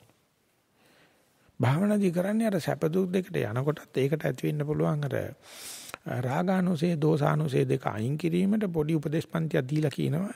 ඒ දේවල් දැනගෙන පොඩ පොඩ අයින් කරන අයින් කරන යන්න. එතකොට Taman ගිල්ල නොදැනුවත්වම වැටෙන්නේ මේ தත්වෙට. වැටි වැටිලක් තියෙනවා වැටෙන්නත් ඉඩ තියෙනවා. නමුත් වැටුණාට පස්සේ දැන් මේ වැටුනේ උත්තරීතර හුදකලාවකට කියලා වැටුනේ විස්රාමයකට කියලා විවේකයට කියලා හඳුනාගත්තේ නැත්නම් ඔය කොච්චර උපයවුවත් එකකින් ඇති වැඩක් යම් විදියකට උපය ගත්තට පස්සේ අපි විද්‍යාගාර තත්ත්වෙදී නැත්නම් පරියංගයකට කියලා අත් දෙක වහන සද්ද නොකර ඉන්න තැන කියලා උපය ගත්තට පස්සේ හරියටම මේ උත්තරීතර උදකලාවේ අර්ථකථනය එහෙම නැත්නම් ඒක Tamanට අත්දකින්න හැටි ඒ වගේම බුද්ධ ආදී උත්තරමන් වහන්සේලා මේක කොච්චර මොනසෑහෙනසේ ස්තුති කළා තියනවාද කියලා දැනගෙන ඒක හොඳට ජීවිතයට සම්බන්ධ කරගත්තට පස්සේ ඒ යෝගාවචරණ ඒක සක්මන් කරනකොට වුණත් ගන්න පුළුවන්. එදිනදා ජීවිතේ ගන්න පුළුවන්. වෙන විදියකට කියන්න පුළුවන් මේ කියන වේදනා සම්බන්ධව තියෙන මේ අදුක්කම සුඛය හඳුනා ගැනීම සඳහා විශාල ප්‍රතිපදාවක් ගිවන් කිරීමක් සීල සමාධි ශික්ෂාවක් අවශ්‍යව ඇත. නමුත් ඒක හොඳට නිර්වචනය කරාට පස්සේ එයින් එහාට ඒක ආනාපානෙන් ගත්තත් බිම්බි මැකිලිමෙන් ගත්තත් සක්මනේදී ගත්තත් පරියන්කේදී ගත්තත් ඉඳගෙන ඉඳදී ගත්තත් හිටගෙන ඉඳදී ගත්තත් ඒකේ කිසි ප්‍රශ්නයක් නැහැ අදුක්කම සුඛ වේදනාවක වෙලාවේ ඉඳලම යෝගාවචරයාගේ තියෙන මේ සම්මුති වැටකඩලු සියල්ලම අයින් කරලා මේක අභියෝගයක් කරන මේක ලබන්න බැරි කොයි වෙලාවෙද කියන මේ අදුක්කම සුඛේ හිටකනත් ගන්න පුළුවන් ඉඳකනත් ගන්න පුළුවන් යනකොටත් ගන්න පුළුවන් එනකොටත් ගන්න පුළුවන් ඒක නිසා ඉස්ලාම මේක මතු කළ දුන්නාට පස්සේ ඒ යෝගාචර දන්නවනම් මේක තමයි මේ ප්‍රධාන තේමාව මේ සූත්‍රයේ එහෙම නැත්නම් මේ බුදුරජාණන්සේගේ දේශනාවේ ඒ සමම කුමන ක්‍රමයකින් මේක අනුග්‍රහ කරනවද කුමන ක්‍රමයකින් මේක තනවා වඩනවද කියන එක ඒකට යෝගාචරයේ සාමාන්‍ය බුද්ධිය අවශ්‍යයි. ඒකට ඇති වෙන්න සාමාන්‍ය බුද්ධිය තියෙනවා. ඒක නෙමෙයි ප්‍රශ්නේ. මේකේ තියෙන নিরপেক্ষ தত্ত্বය තේරුම් ගන්න ඕනේ. මේ අදුක්කම සුඛයේ තියෙන নিরপেক্ষ தত্ত্বය එකක් තියෙනවා. හැබැයි කවදාවත් ඊට කලින් ගෙවම් කරපු සැප දුක් දෙක නොවිඳ මේකට එන්න බෑ. ඒ නිසා යෝගාවචරයට සැප අවශ්‍යයි. ඒක පිටමද ද්වේෂ කරන්න යන නරකයි. යෝගෙම යෝගාවචර යම් ප්‍රමාණයක් දුකත් අවශ්‍යයි. මේ දෙක සංසන්දනය කිරීමෙන් තමයි ওই මැද තියෙන අදුක්කම සුඛයට එන්නේ. ඒ නිසා මේ මධ්‍යම ප්‍රතිපදාව කියලා කියන්නේ මේ සැප දුක දෙක දෙකට එකතු කරලා දෙකෙන් බෙදෙන එක නෙවෙයි. ඒ වගේ මේ ගණිත ක්‍රමයට ගන්න පුළුවන් එකක් නෙවෙයි. ඊට වඩා හාත්පසීම වෙනස් දෙයක්. මේ දෙක සාපේක්ෂ තත්වයක තියෙද්දී ඒ සාපේක්ෂ තත්වයේ තියෙන ආදීනව දැකලා මේ নিরপেক্ষ තත්වයට යන ගමනක් මෙතන තියෙන නිසා අදුක්කම සුඛ වේදනාවට යම් ප්‍රමාණයකට අවදි වුණාට පස්සේ ඒ යෝගාවචරය ගුරුවරයාගෙන් නිදහස් වෙනවා. කර්මස්ථානෙන් නිදහස් වෙනවා. ඉරියව්වෙන් නිදහස් වෙනවා. භාවනා මධ්‍යස්ථානෙන් නිදහස් වෙනවා. එයාට තියෙන්නේ ඕනෙම තැනකදී මම ඉන්නේ දැන් දුකක ඒ දුක තියෙන්නේ මට द्वේෂය මේ මම මේ දුකයි මේ द्वේෂයයි අවබෝධ කරගත්තොත් වැටෙන්නේ කියලා දුකම සුඛේ. එහෙම නැත්නම් තමන් ඉන්නේ මේ වෙලාවේ සුඛයක ඒ සුඛය පිළිබඳ තියෙන ආසාවක් ඒ ආසාවයි ඒ සුඛය දෙක අඳුනගත්තට පස්සේ ගිහිල්ලා වැටෙන අදුක්කම සුඛයට. එනිසා දුකෙන් පටන් ගත්තා සුඛෙන් පටන් ගත්තා නැත්නම් අදුක්කම සුඛේ පටන් ගත්තත් තේරෙයි දවසේ අපි මොන චරිතය ගත කරත් ස්ත්‍රී වුණත් පුරුෂ වුණත් පැවිදි වුණත් උපැවිදි වුණත් මේ වැඩි වේලාවක් අපි භාවනා කළත් නොකළත් තියෙන අදුක්කම සුඛය තමයි. නමුත් අපි හිතනවා අදුක්කම සුඛය හරි පාළුයි කියලා. ඒ නිසා අපි নানা ආකාර ක්‍රම හොයනවා මේ අදුක්කම සුඛය ආවට පස්සේ ඒක වර්ණ ගන්නවන්න. විචිත්‍ර කරන්න. වන්දනාව කාරණාව යණ්ඩන් අපේ වන්දනාව මට හරි පාළුයි ළමයෝ කියලා වන්දනා ගමනක් දාගන්න. දැන් එක දෙයක්ම කරලා ඇති වෙලා දැන්. එහෙනම් හරි පාළුයි කියලා රේඩියෝ එක දාගන්න. එහෙම නැත්නම් කම්මැලි කියලා පොතක් කියවනවා. එහෙනම් ටෙලිවිෂන් එක බලනවා. එහෙනම් පික්චර් එක බලන්න යනවා. පික්නික් යනවා. ඉතින් මේ ඔක්කොම කරන්න පුළුවන් මිනිහට අපි කියන පොහසතයි කියලා. අයියෝ මේ උත්තරීතර උදකලාව කියන સંદર્ભේ මූලිකාගේවත් එහෙම නැත්නම් මේ ආර්ය ලෝකයේ තියෙන නිරාමිසම් පීති සුඛං නැත්නම් විවේකජම් පීති සුඛං කියන එක දන්නවනම් මේ නව තාක්ෂණයෙන් අපිට මේ දෙන්න හදන දේ එනතන් අපි මේ කිට්ටුවන්තියෝ නෑදෑයෝ යාළුවෝ මිත්‍රයෝ අපිට දෙන්න හදන දේ සර්වචනාංශගේ මිම්මෙන් බලනකොට බුදුම හිතෙනවා එක දවසක් මිනිස්සෙක් මේ ගෙදර පූසෙක් හැදුවලු. හදලිලේම හැමදාම ඒ ඒ පූසට හොඳ කැමති කැම ගෙනත් දීලා මොකද මීයේගේ ප්‍රශ්නයක් කර තියෙන්නේ නැති ඒ ප්‍රශ්නෙත් ඉවරයි. මනසට හරි ලාභයි. නිසා කන දෙක දවසක් මේ පූසට කල්පනා වුණාලු. මේ මං උදේ ඉඳලා හැන්ද වෙනකම් හම්බ කරලා ගෙදර එන ගමන් කොහොම හරි මට රසමසූලක් ගෙනත් දෙනවා. මම කවදාකවත් මේ මියට සලකලා නැහැ කියලා. මම කවදාද මේ විනාඩි දීලා නැහැ. මොකද බීයේ දැකපු ගමන් ඌට කාලේ ඉවර වෙනවා කොයි වෙලාවෙද දන්නේ මේ ගෙහිමියා මතක් වෙන්නේ නැහැ. නැත්තම් ස්වාමියා මතක් වෙන්නේ. ඊට හරිම සවුත් වැඩි. මම කවදා හරි මේ මිනිහට සලකන්න ඕනේ කියලා ඒක දවසක් මී ගුලකට මැනපුවාම මී බඩව තුන් හතර දිනක් මහුනලු එක කටටම. එතකොටම සතිය වීටියාලු. ඒක අද නම් දෙන්නම් කියලා. මනෝට අර මනුස්සයා බත් කනවලු ගිහිල්ලා මී පැටියෙක් ලේ වැක්කරේදී පෑම් පිඟාන උඩ තියලා ගියාලු යන්නේ. ඌ හිතුවා ඉතින් විශාල සැලකිල්ලක් කියලා අර මනුස්සයාට බත් පිඟානුවක් කා ගන්න නැහැ. මොකද මීයාගේ අතිවිශේෂ සැලකිල්ල හින්දා. ඔය වගේ තමයි අපේ නෑදෑයෝ අපේ කිට්ටුවන්තයෝ අපිට ලබලා දෙන සැප මේ සියල්ලම තද්ද බල විද්‍යාවක ඉඳලා කරන වැඩ. එබිති මොකද කරන්නේ අර මීයා විශාල කැපකිරීමක් කළා තමයි තමයි කරට අහුවෙච්චි ලේ පෙරන මී වැටියෙක් බත් පිඟානුවට තිබ්බේ. ওই වගේ තමයි මේ පද්දේ කරත්තේ දන්නේ නැත්නම් විවේකයේ දන්නේ නැත්නම් විස්රාමයේ කියන එක දන්නේ නැත්නම් හුදකලාව කියන එක දන්නේ නැත්නම් අපි අපේ හුදකලාව නසා ගන්නවා විතරක් නෙවෙයි කිට්ටුවන්තේ හුදකලාව නසනවා. අපි කියන එහෙම නොකරනවා නම් හරි පාළුයි කියලා. ඉතින් ඒ සරුවචනාංශේ බුදු වුණාට පස්සේ ඒ වගේ ගැඹුරු ධර්ම දේශනා කරන නිසා පුද්ගලයෝ අනෙකුත් ශාස්ත්‍රුන් වහන්සේලාට වගේ විශාල පිදවිලි පෙනුමක් සුදක් පූජා භාණ්ඩ අරගෙන රැස්ලා තියෙනවා. එතකොට වෙ නාගිත කියලා හාමුදුර කෙනෙක් තමයි ඉඳලා තියෙන උපස්ථාන ආනන්ද හාමුදුරපත් වෙලා නැහැ. ඒ කියන්නේ ප්‍රථම බුද්ධ ශාසන වෙච්ච වඩා. ඒක බමුණු ගමක් ඒ උනත් බුදුහාමුදුරගේ කීර්ති නාම නිසා විශාල සෙනගක් ඇවිල්ලිවලා මේ අරන්නේ දොරකඩ විශාල ගෝසාව නිසා නාගිත හාමුදුර කියලා ලැබුවට පස්සේ කිවලු අපි අදහන්නේ Hindu ආගමේ උනට මේක බවත් ගෞතමයන් වහන්සේ නියමාකාර දර්ශනයක් පෙන්නනවා. අපිට උන්වහන්සේ අපේ ගමට වැඩපියක ලොකු දෙයක් අපි මේ පූජා භාණ්ඩ ගෙනාවා. මට අපිට අවස්ථාවක් දෙන්නේ කියලා ගිහලා පූජා කරන්න. ඉතින් නාගිදාමතුරු ගියාට පස්සේ බුදුහාමුදුරුවෝ ඇහුවලු නාගිදාමතුරු යනකොටම බුදුහාමුදුරුවෝ කර කෙවුල වගේ කවුද කෑ ගහන්නේ කියලා ඇහුවලු මේ. දොරකඩ අරන්නේ දොරකඩ.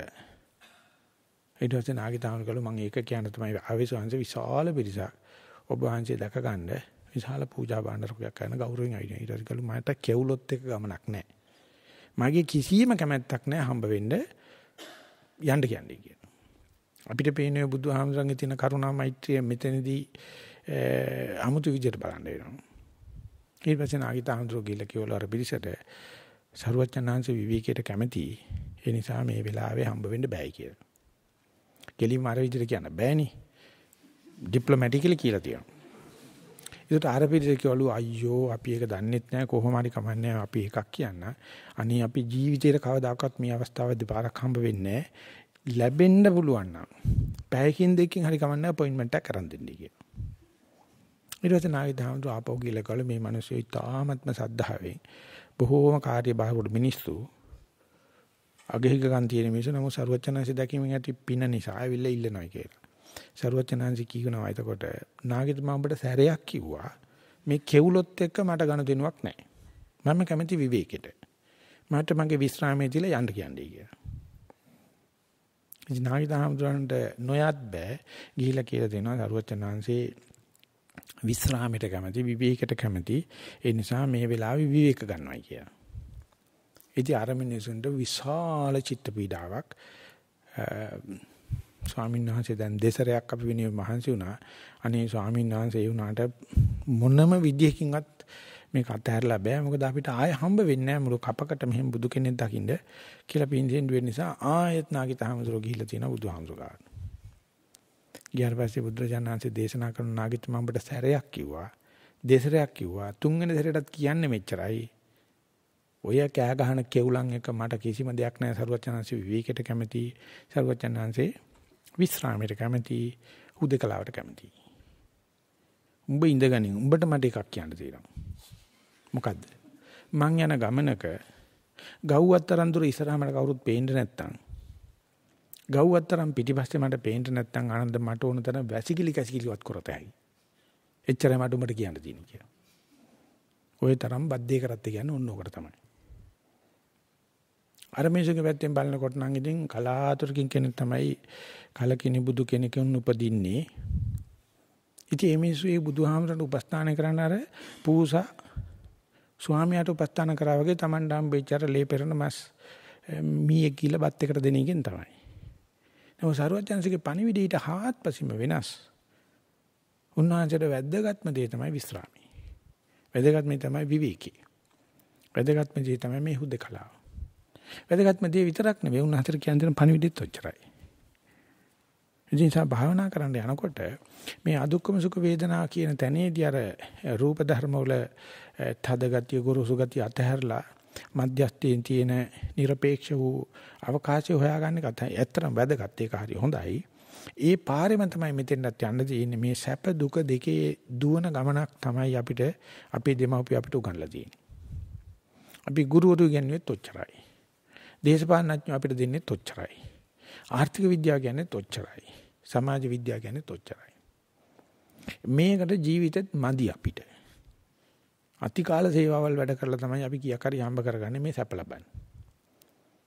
ඒ ලබන සැප ඒකාන්තෙම දුකකින් හමාර වෙන බවත් ඒ හමාර වෙන දුක දැක ගන්න බැරි මේ සැපට තියෙනා වූ කාම ආසාව නිසා නැත්නම් කාම අනුසය නිසා බවත් ඒ ධම්මදින තෙරින්නාංශ කියන කතාව කාටවත් නෑ බෑ කියන්න බෑ උත්සාහ කළ බැලුවොත් පේන දෙයක්.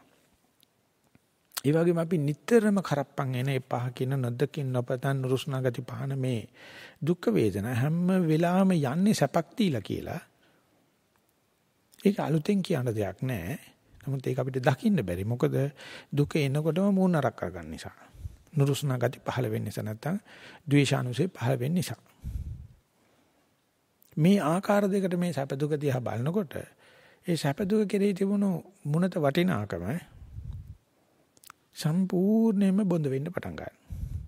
එදාට තේරෙනවා සැප දුක් දෙකේ අපි හොඳට යෙදී ගත කරලා ඒක ප්‍රමාණ කරලා ඒක පරිච්ඡේද කරලා දැනගත්තොත් අපි ඉඳගෙන ඉන්න පරියන්කේ 100ට කොච්චරද සැප දුක දෙක තියෙන්නේ බොහෝ විට තියෙන සැපත් නැති දුකත් නැති තත්ත්වේ. මේක එනකොට අපි මේක නුරුස්නා ගතිය අවිජ්ජානෝසේ හැටි. එනිසා අටුවාචාරින් වහන්සේලා සදාන් කරලා තියෙනවා දුක පිළිබඳ ඇති අවිද්‍යාවට අපි ප්‍රේම කරනවායි කියලා.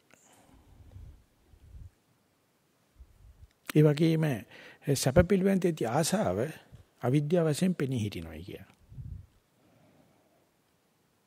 ඉතින් මේකෙන් අපි පොඩ්ඩකට ගලවලා ඒ කියන්නේ මේ සැප දුක කියන ක්‍රමෙන් ජීවිතේදී බලන හැටි දිහාවේදී මේ සැපයි දුකයි දෙක ගලවලා බැලුවොත් අපිට තේරෙන පටන් අර ගන්නවා මේක භාවනාවකින් උපේන එකක් නෙවෙයි. හැබැයි භාවනාවෙන් තමයි මේක පරිච්ඡේද කරන්නේ. අල්ලගන්නේ මෙතනින් තමයි. අල්ලගත්තට පස්සේ පේනවා මේ ක්‍රමේ විතරක් නෙමෙයි මේක උපයන්න තියෙන්නේ. කොයි පරියන්කේ හිටියත්, කොයි ඉරියව්වේ හිටියත්, කොයි තැන හිටියත් අඳුනගත්තට පස්සේ ඒක අපි අතහරින්නේ තමයි පිටිපස්ස යන හේව නැල්ල වගේ අදුක්කම සුඛ එනවා. නමුත් එනේන වෙලාවේ හඳුනා ගන්න එක තමයි ඒ මේ මිනිස්යාගේ සිහි බුද්ධිය කියලා කියන්නේ ගැඹුර දකින්නයි කියලා කියන්නේ. එහෙම නැත්නම් විනිවිද බලනවායි කියලා කියන්නේ විපස්සනා කරනවායි කියලා කියන්නේ. එතන ඉතින් ඒකට බලනකොට අපිට තව කෙනෙකුගේ අදුක්කම සුඛේ උපයාදීමක් කරන්න බෑ. මමගේ ප්‍රියතම දරුවට නැත්නම් භාර්යාවට අම්මට තාත්තට අදුක්කම සුඛය ඇති කළ දෙනවා කියන එක කරන්න බෑ මොකද එයාට යාගේ කෝටයක උප්පත්තියම ලැබිලා තියෙනවා. එයා දන්නේ නැත්නම් ඒක නෙවෙයි ඉල්ලන්නේ සැපනම් අපි මේ දැන දැන හෝ දැක දැක හෝ මේ සැප දෙනවයි කියලා කියන මනුස්සයා නොමග ඇවිල්ලා. අඩු ගානේ මනුස්සයා මේ ආසය ධර්ම ගැනවත් අනුසය ධර්ම ගැනවත් ඉගෙන ගන්න නැතු කෙනෙකුට සැප දෙනවයි කියලා කියන්නේ ඒ කාන්තේම අර ඔය මේ මොකේද මේ මැක්ඩොනල්ඩ්ස් වල වැසිකිළිය වල ගහලා තියෙනවා මේ වෙනම එකක් ඉන්ජෙක්ෂන් කටු දාන්න කියලා. ඒක තමයි ලොකු සේවය මොකද මේ කුඩු ගහන කට්ටියට ඉන්ජෙක්ෂන් කටු අතන මෙතන දාන වෙනකොට කරන සේවයක් තමයි ඉන්ජෙක්ෂන් කටු අරන් දෙනවා. අන්න ඉන්ජෙක්ෂන් කටු අරන් දීමක් විතරමයි ඔය සැප දුක දීමෙන් කෙරෙන්නේ. අරු කරන බැහැිය දිගටම යනවා. ඒක අතන මෙතන දාලා කකුල පහ ගන්නවට තමයි ඉන්ජෙක්ෂන් එකක් දාන්න වෙනම ඩස්බින් එකක් තියලා තියෙනවා. එච්චර තමයි කරන්න පුළුවන්. කවදාද අපිට පුළුවන් ඉන්නේ අපේ ප්‍රියමනාප ඇත්තන්ට නැත්නම් අපිට අපි ඒකට බුදුජානනාංශය කියන්නේ සැලකිය යුතු ඇත්තෝ කියලා අපි. මේ මේ මේ සැප දුක දෙක කියලා දීලා අදුක්කම සුඛය කියන කුඹලට හැම කෙනා ළඟම තියෙනවා. කරුණාකර මේකට විවෘත වේවා කියන ප්‍රශ්නේ කියලා දෙන්න තියා Tamanට තේරුම් ගන්න කොච්චර අමාරුද කියලා බලන්න. මොකද අපි ජීවත් වෙන්නේ සැපස වෙන ලෝකයක. අපි දිවා රාත්‍රී දෙකේ තුන් ආකාරයකට සැප Tamanගේ ඉඳුරම් පිනවීමෙන් ලබනවා. මේකට කියනවා කාම ආසාව කියලා. කාම ආසාව කියන්නේ ඇහ කන දිව නාසය කය මන. එච්චරයි.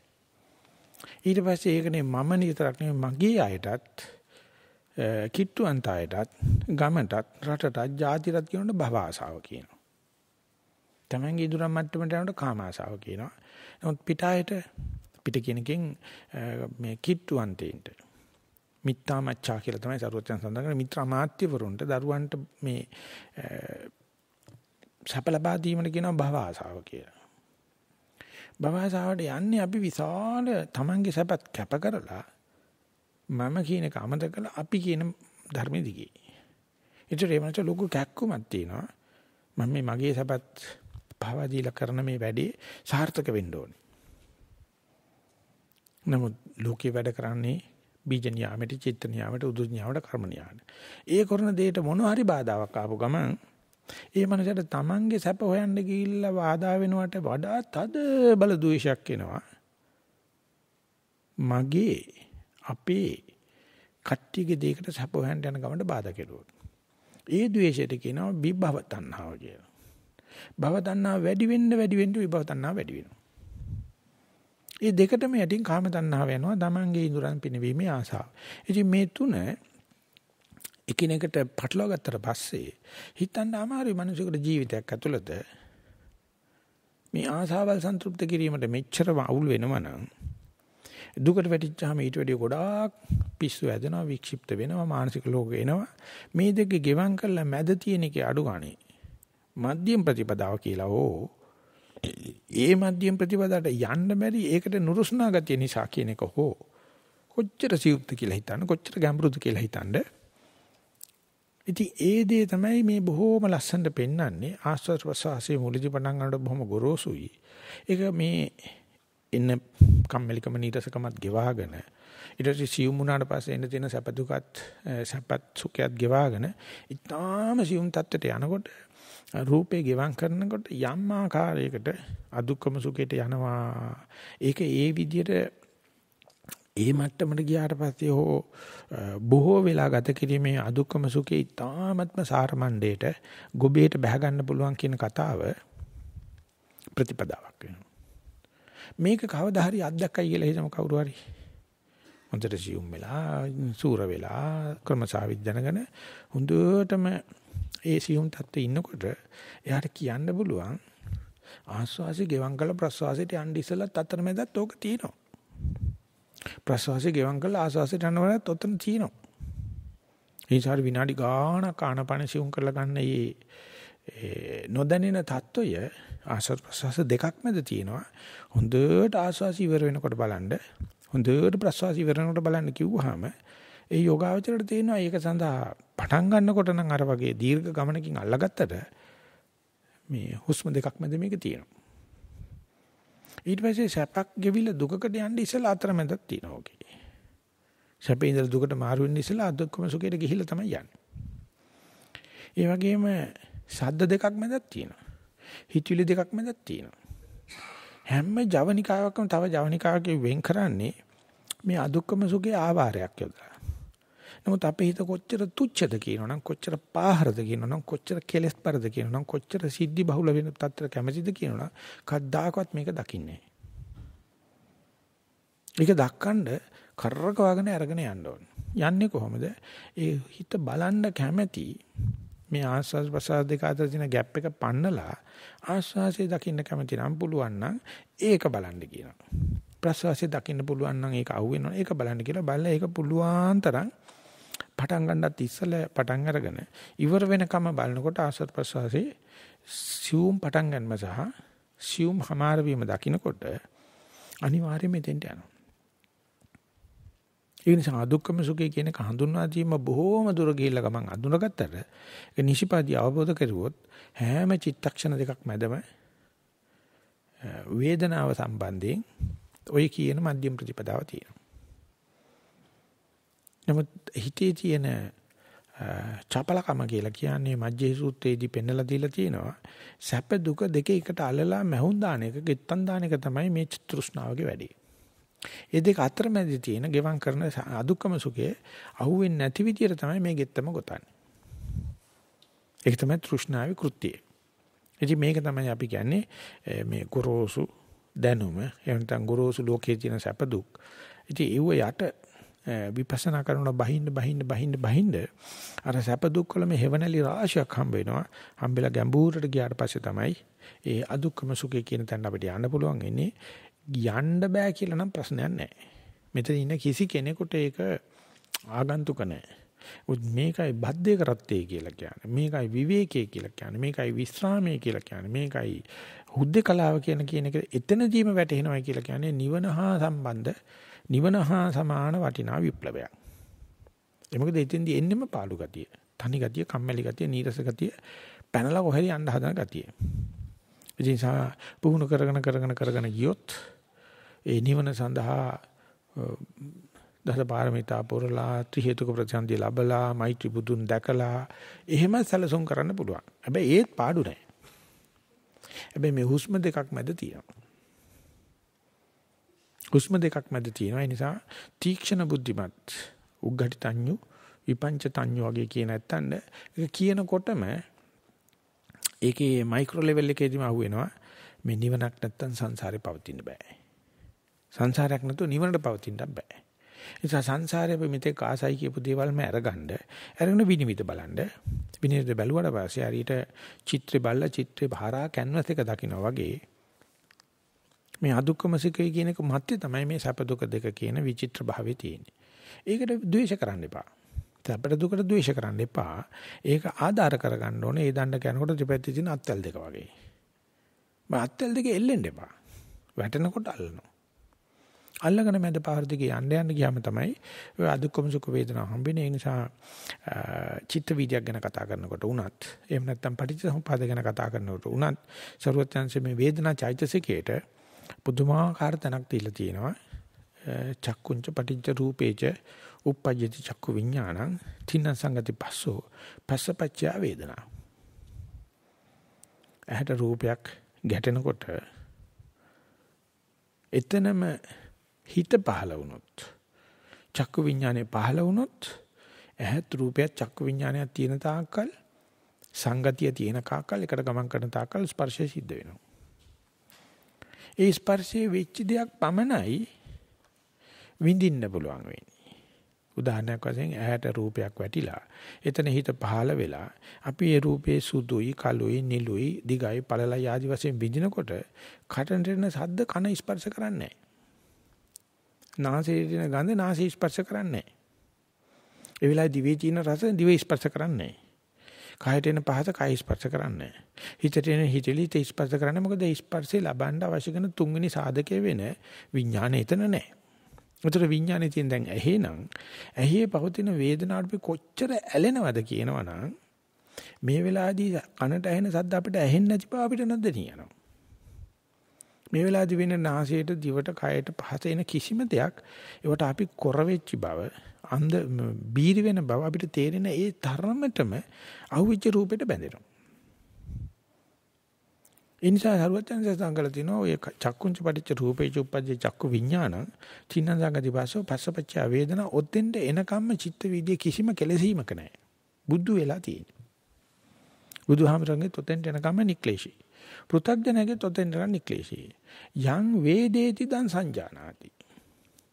යමක් අපි විඳිනවා නම් ඒ දේ හඳුනා ගන්නවා හඳුනාගන්නේ අතීත වේදනා පිළිබඳව අපිට තිබුණු මතක සටහන් සහ අනාගතේ ඉන්න තියෙන වේදනා පිළිබඳ මතක සටහන් කියන අපේ පරණ රුචි අරුචිකම් අනුව තමයි. එතෙන්ද තමයි කෙලෙස් උපදින්නේ. ඉතින් වේදනාවක් එනකොටම චක්කුණ රූපන් දිසව උපජ්ජති මනාපං උපජ්ජති අමනාපං කියලා.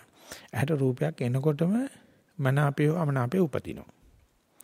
මනාපය හා අමනාපය උපදින රූපවල පමණයි චක්කු විඥානේ පහළ වෙන්නේ. එහෙම නැත්නම් චක්කු විඥානේ වෙනුවට විඥානෙට සෝතේ උපදින්න පුළුවන්. ගාහනේ උපදින්න පුළුවන්. ජීවහා උපදින්න පුළුවන්. කාය උපදින්න පුළුවන්. ඒවට වැඩිය මේ ඇහෙන් එන්න තියෙන රූපයේ මනාපමනාප වැඩි නිසා තමයි අර තේරම අයින් කරලා මේකට පණින්නේ. පැනපු ගමන් අමතක කරපු දේ, ගිලිහිච්ච දේ 100%ක් මමතක කළා අර මනාපය මනාපය ඇවි ඇලි බැඳි ගන්න. මේ ඇලි බැඳි ගන්න නිසා කවදාකවත් උපදිච්ච නැත්නම් නොතරම් වර්ණා වූ කෙලෙස් රාශියක් පහළ කරනවා. එනිසා ඉන්ද්‍රිය භාවනාවේදී ਸਰවචන් සඳහන් කරලා තියෙනවා යත්වාදි කරන මේතං අසංගතං විහරන්තං uppajjati papaka akusala dhamma තත්ත සංවරං ආපජ්ජති ඇහි රූපයක් දැකලා මනාපය අමනාපේ පහළ වෙනකොට මේ මේ දැන් අසත්‍යමත් වුණොත් උපදින්න පුළුවන් කෙලෙස් රාශියක් ගැන සංවර වෙලා කෙලෙස් නොඋපදින ආතාරයට මගේ දැන් කණෙන් කෙලෙස් උපදින්නේ නැහැ නාසයෙන් නැහැ දිවෙන් නැහැ කයෙන් නැහැ හිතෙන් නැහැ. හිත තියෙන්නේ දැන් ඇහි නිසා උපදින තාක් කෙලෙස් උපදින්න පුළුවන් මේකේ දැනටමත් මනාපයමනාපේ පහළ වෙලා ඉවරයි. ඒ පහළ වෙච්ච මනාපමනාපේ වශයෙන් තේරුම් ගන්නවා මිසක්කා අර දැකපු රූපේ දිහා කටත් අරගෙන බලන්න ඉන්න යන්න එපා කියන එකයි කියන්නේ. ඒ රූපේ ලස්සන හොඳ නම් අපි ඇහෙන් විතර නෙමෙයිනේ කටවුත් බලනවනේ. ඒ තරමටම රසලෝලී අපි. එතකොට වෙන්නේ මොකද අර දෝරේ ගන්න කෙලස් රාශියක් එනවා. මෙන්න මෙතන ඒ මත්තට උපදින්න ඉඩ තියෙන කෙලස් නොඋපදින අපිනිස කටයුතු කරනවා කියන එක බලන්න කොච්චර මේ සංකීර්ණ වැඩක්ද සූක්ෂම වැඩක්ද කියලා. ඒක කරන්න ඉස්සෙල්ලා අර භාවනා කරනකොට ආනාපාන දිගේදී මනාපේ අමනාපේ ඒ වගේම මනාපේට හේතුන සුඛ වේදනාව අමනාපේට දුක් වේදනාව පිළිබඳව පරිේශන මට්ටමේ හොඳට සාංශුද්ධෙන් විවේකීව දැක බලා ගන්න ඕනේ. බල්ල බල්ල බල්ල තමයි මේ ආනපන සංසිඳීම කියලා කියන්නේ. එන දුක, එන සැප, ඒ ඒ වශයෙන් ප්‍රතික්‍රියා නොකර අවබෝධ කරනවායි කියලා කියන්නේ අපි මේ විවේකයට කරන ගෞරවයක්. විස්රාමයට කරන ගෞරවයක්. එහෙම නැත්නම් හුදේකලාවට කරන ගෞරවයක් කියලා එක හොඳට බලාන හිටියොත් ඒ යෝගාවචරයට සාමාන්‍ය දිනදීට රූපයක් බලනකොට ඇති වෙන ඇති වෙන්න ඉඩ තියෙන මනාපමනාප. සද්දයක් අහනකොට එන තියෙන මනාපමනාප දැක්කොත්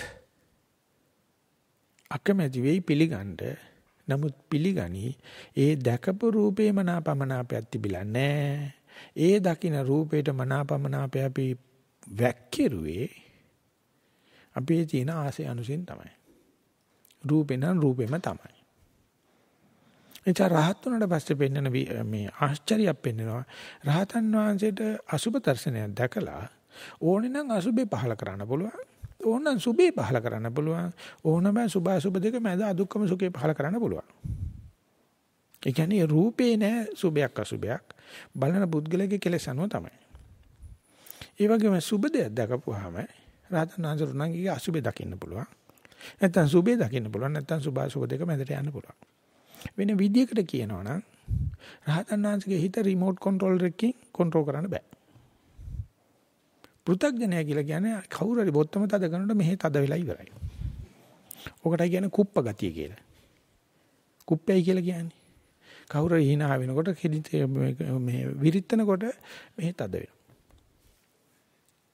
ඉතින් කුප්පකම තියෙන අතර මේ තද වෙන මිනිහාදී අපි විරිත්තන එකට කියන්නේ ඔබ කුප්පයි කියලා. අපැත්ත කම්පැත්ත කුප්පයි කියලා කියන්නේ කේන්ති යන මිනිහට. ඉතින් ඒ නිසා මේ වේදනා චෛතසිකෙන් අපි හික්මව ගත්තොත් ඒකට කියන්නේ ඉන්දිය සංවරය කියලා. ඒ ඉන්දිය සංවරයෙන් තමයි අපිට මේ ලෝකේ තියෙන විෂම ගති කොච්චර තිබුණත් අපිට කවුරු මොන තාලෙන් ප්‍රතික්‍රියා කරත් නැත්නම් ප්‍රතිචාර දක්වුවත් ඒක එතන තියේදී දකින්නකොට දකින්න මට්ටමින් අහනකොන අහන මට්ටමින් නතර කරනවා. එහෙම නැත්නම් රූප දැක්කට මොකද බී අන්ධෙක් වගේ කටයුතු කරනවා. ශබ්ද ඇහුනට මොකද බීරෙක් වගේ කටයුතු කරන තත්ත්වයට එන්නේ ওই දිග ගමනක අවසාන ප්‍රතිඵලය. ඒ කටයුත්ත විස්තර වෙන්නේ ওই කියන වේදනා චෛසික හරහා තමයි. ඒ වේදනා චෛසිකවල පෘථග්ජන ලෝකය අසීමිත සැප සොයා යාමේ ගමනක ගත කරනවා. ඉතින් ඒ දියුණුව අනුව තමයි අපි මේ රටවල් වෙන් කරලා තියෙන්නේ පළවෙනි ලෝකේ රටවල්, තුන්වෙනි ලෝකේ රටවල්, දියුණු රටවල්, නොදියුණු රටවල් කියලා. නමුත් මේ බද්දේ කරත්ත පැත්තෙන් බලනකොට විවේකයේ පැත්තෙන් විශ්‍රාමයේ පැත්තෙන් සහ හුදකලාවේ පැත්තෙන් බලනකොට මේ යක්කු අපිට මේ පෙන්වන්න හදන දේ තනි කර බොරුවනේ. මේක නෙමේ කාලා අපි මේ දිනුනුයි කියලා හිතාගෙන ඉස්සරහට යනවා කියලා හිතාන පස්සට යනවා කියලා හිතාන අපි මේ කාලා නටන නටන කාටද නම්බුව? අපි මේ මාර පාක්ෂික වෙලා මාරයට පැත්තලා කටයුතු කරනවද? එතන මේ සරුවචනසෙම නිස්සද්දෝ කියන බණට අපි තේරුම් ගන්න කටයුතු කරනවාද කියලා බැලුවොත් මේ දේවල් වලට වෛර කරන්න ඕනේ නැහැ. ඒ කියන්නේ සැප නැති කරන්න ලෝකේ ඕන කරන්නේ මේ සැපට තියෙන දාස භාවය. ගැති භාවය. ඒ විශේෂම කියනවා නම් රාගානුසයට ඇති ගතිකම. ද්වේෂානුසයට ඇති ගතිකම. ඒ දෙක දැකලා නාස්තික පැත්තක් නෙමෙයි පෙන්වනද. මේ දෙක වෙන් කෙරුවට පස්සේ මැද තියෙන අදුක්කම සුඛේ හේවත් මෝහානුසය අවබෝධ කරගත්තොත් විතරයි අපිට ස්වාධීන වෙන්න පුළුවන්. එහෙම නැත්නම් අපි අර නිතරම පරිවර්තන වෙන ලෝකෙක පෙරලි වෙන ලෝකෙකයි අපි මේ සැපදුක හොයන්නේ. ඒක නිසා හොඳට මතක තියාගන්න ඕනේ. භාවනා විපස්සනාවට ගියාට පස්සේ භාවනාවේදී මේක මට හරි ගියා මේකට වැරදුණයි කියලා ඇල්ලුවනම් ඔය අනුසයකට අහුවෙලා. භාවනා කරන්නේ කිරීම සඳහා පමණයි. වෙන විදිහට කියනම් පවු නැති කිරීම සඳහා පමණයි ආවල් දෙය ලබා ගන්න කියන එක ආවන එතන අනුසයක් වැඩ කරනවා. ඒ නිසා ඒක අර ඊයේ පෙරදා කියාපු නාම ධර්ම රූප ධර්ම පිළිබඳ සමා වෙන්නේ රූප ධර්ම පිළිබඳව විස්තරෙන් තමයි අපිට මේ අදුක්කම සුඛය පිළිබඳ චිත්‍රය අඳ ගන්න පුළුවන් වෙන්නේ. ඒක ඇත්තටම සම්බන්ධයි. අරකට මේක සම්බන්ධයි. නමුත් මීට වැඩිය මේක නාම ධර්මයක් නිසා ගොඩක් දර්ශනීය පැත්තට බරයි. ගොඩක් ආධ්‍යාත්මික පැත්තට බරයි. නමුත් අර හොඳට භාවනාවෙන් ඉතින් අනේකන්ට ඒකෙන් නිදර්ශන අරගෙන මේක මේ බද්දේ කරත්ත කියන්නේ මොකද්ද විවේකී කියන්නේ මොකද්ද කියලා අල්ලගත්තොත් තේරෙයි මේක දිනු කරන්න කිසිම අඩුපාඩුවක් අපිට නැහැ. අහවල දෙ නැහැ කියලා කියන දෙයක් නැහැ සම්පූර්ණයෙන් ආඩ්‍යයි. ඒකට දෙවන්නේක් සම්බන්ධත් නැහැ. ඒ වගේම මේක සම්බන්ධයෙන් කිසි කෙනෙකුට අධිකාරී ශක්තියකුත් නැහැ. ඔබට මේක මම දෙනවා කියලා කාටවත් දෙන්න බෑ. උඹට මම මේක ගන්න දෙන්නේ නැහැ කියලා වළක්වන්න කෙනෙකුත් නැහැ. මෙන්න මේක තමයි දුර්ලභෝ manussත්ත්ව ප්‍රතිලාභෝ කියලා කියන්නේ. ඉතින් එහෙම හම්බෙච්ච මේ manuss ජීවිතයේදී අපි මේ වගේ දෙයක් අත්දකින්න පරිශන කරන්න ගියේ නැත්නම් වෙන්නේ මොකද්ද? අපි අර පෘථග්ජන ස්වරූපයෙන් එහෙම නැත්නම් කාමයටම ගැති වෙච්ච ස්වරූපයෙන් ජීවිතය ඉවර කරන්න වෙනවා. ඒ නිසා ස්තුතිවන්ත වෙන්න ඕන සතුට වෙන්න ඕන. අපි යම් ප්‍රමාණයකට ඒ සඳහා කාමස කල්යාණ යෝගයේ අත්කිලමතාන යෝගයේ ගවන් කරලා තියෙනවා. දැන් අපිට තියෙන්නේ භාවනා කරනකොට මේ අසංගිරං අසංකුප්පං කියලා ඇති වෙන මේ සැලීම් ඇලීම් ගැටීම් වලින් සූක්ෂම වෙන් කරගෙන ගියොත් අපිට එක පැත්තකින් අදුක්කම සුඛේ පැත්තෙන් ඒ චේතු විමුක්තියට යන්න පුළුවන්. ඒක උත්කෘෂ්ඨ එක නෙවෙයි මම මේ උත්සාහ කරුවේ පෙන්නන්නට ඒක කරගෙන යනකොට මගදී හම්බෙන යම් යම් ජවනිකා රූප රාමු ටිකක් පෙන්වන්න. එතකොට ඒට සාපේක්ෂව පුළුවන් ඊටාම ගැඹුරට යන්න. ඉතින් ඒ ඒ උත්තරීතර වූ ඒ හුදකලාව පිනිස අද දවසේ ධර්ම දේශනාව හේතු ආසනාව වේවා කියන ප්‍රාර්ථනාවෙන් ධර්ම දේශනාව මෙතනින් නතර කරනවා. ශිරු දිනාටම සනසීමු දා වේවා කියලා ප්‍රාර්ථනා හොඳයි පැයකමාරක විතර කාලය අරගෙන තියෙනවා අපි ධර්ම දේශනාව සඳහා. ඒක ඇබ්බැහියට යන ගතියක් තියෙන දැන්. මේ එකසේ නමුත් අපි පැය විනාඩි 45ක් ගමු කියලා මම යෝජනා කරනවා සක්මන සඳහා. ඊට පස්සේ අපි හතරයි කාලට එකතු වෙනවා. පැයක පරියන්කයක් හොඳා. සීල දෙනාටම තෙරුවන් සරණයි.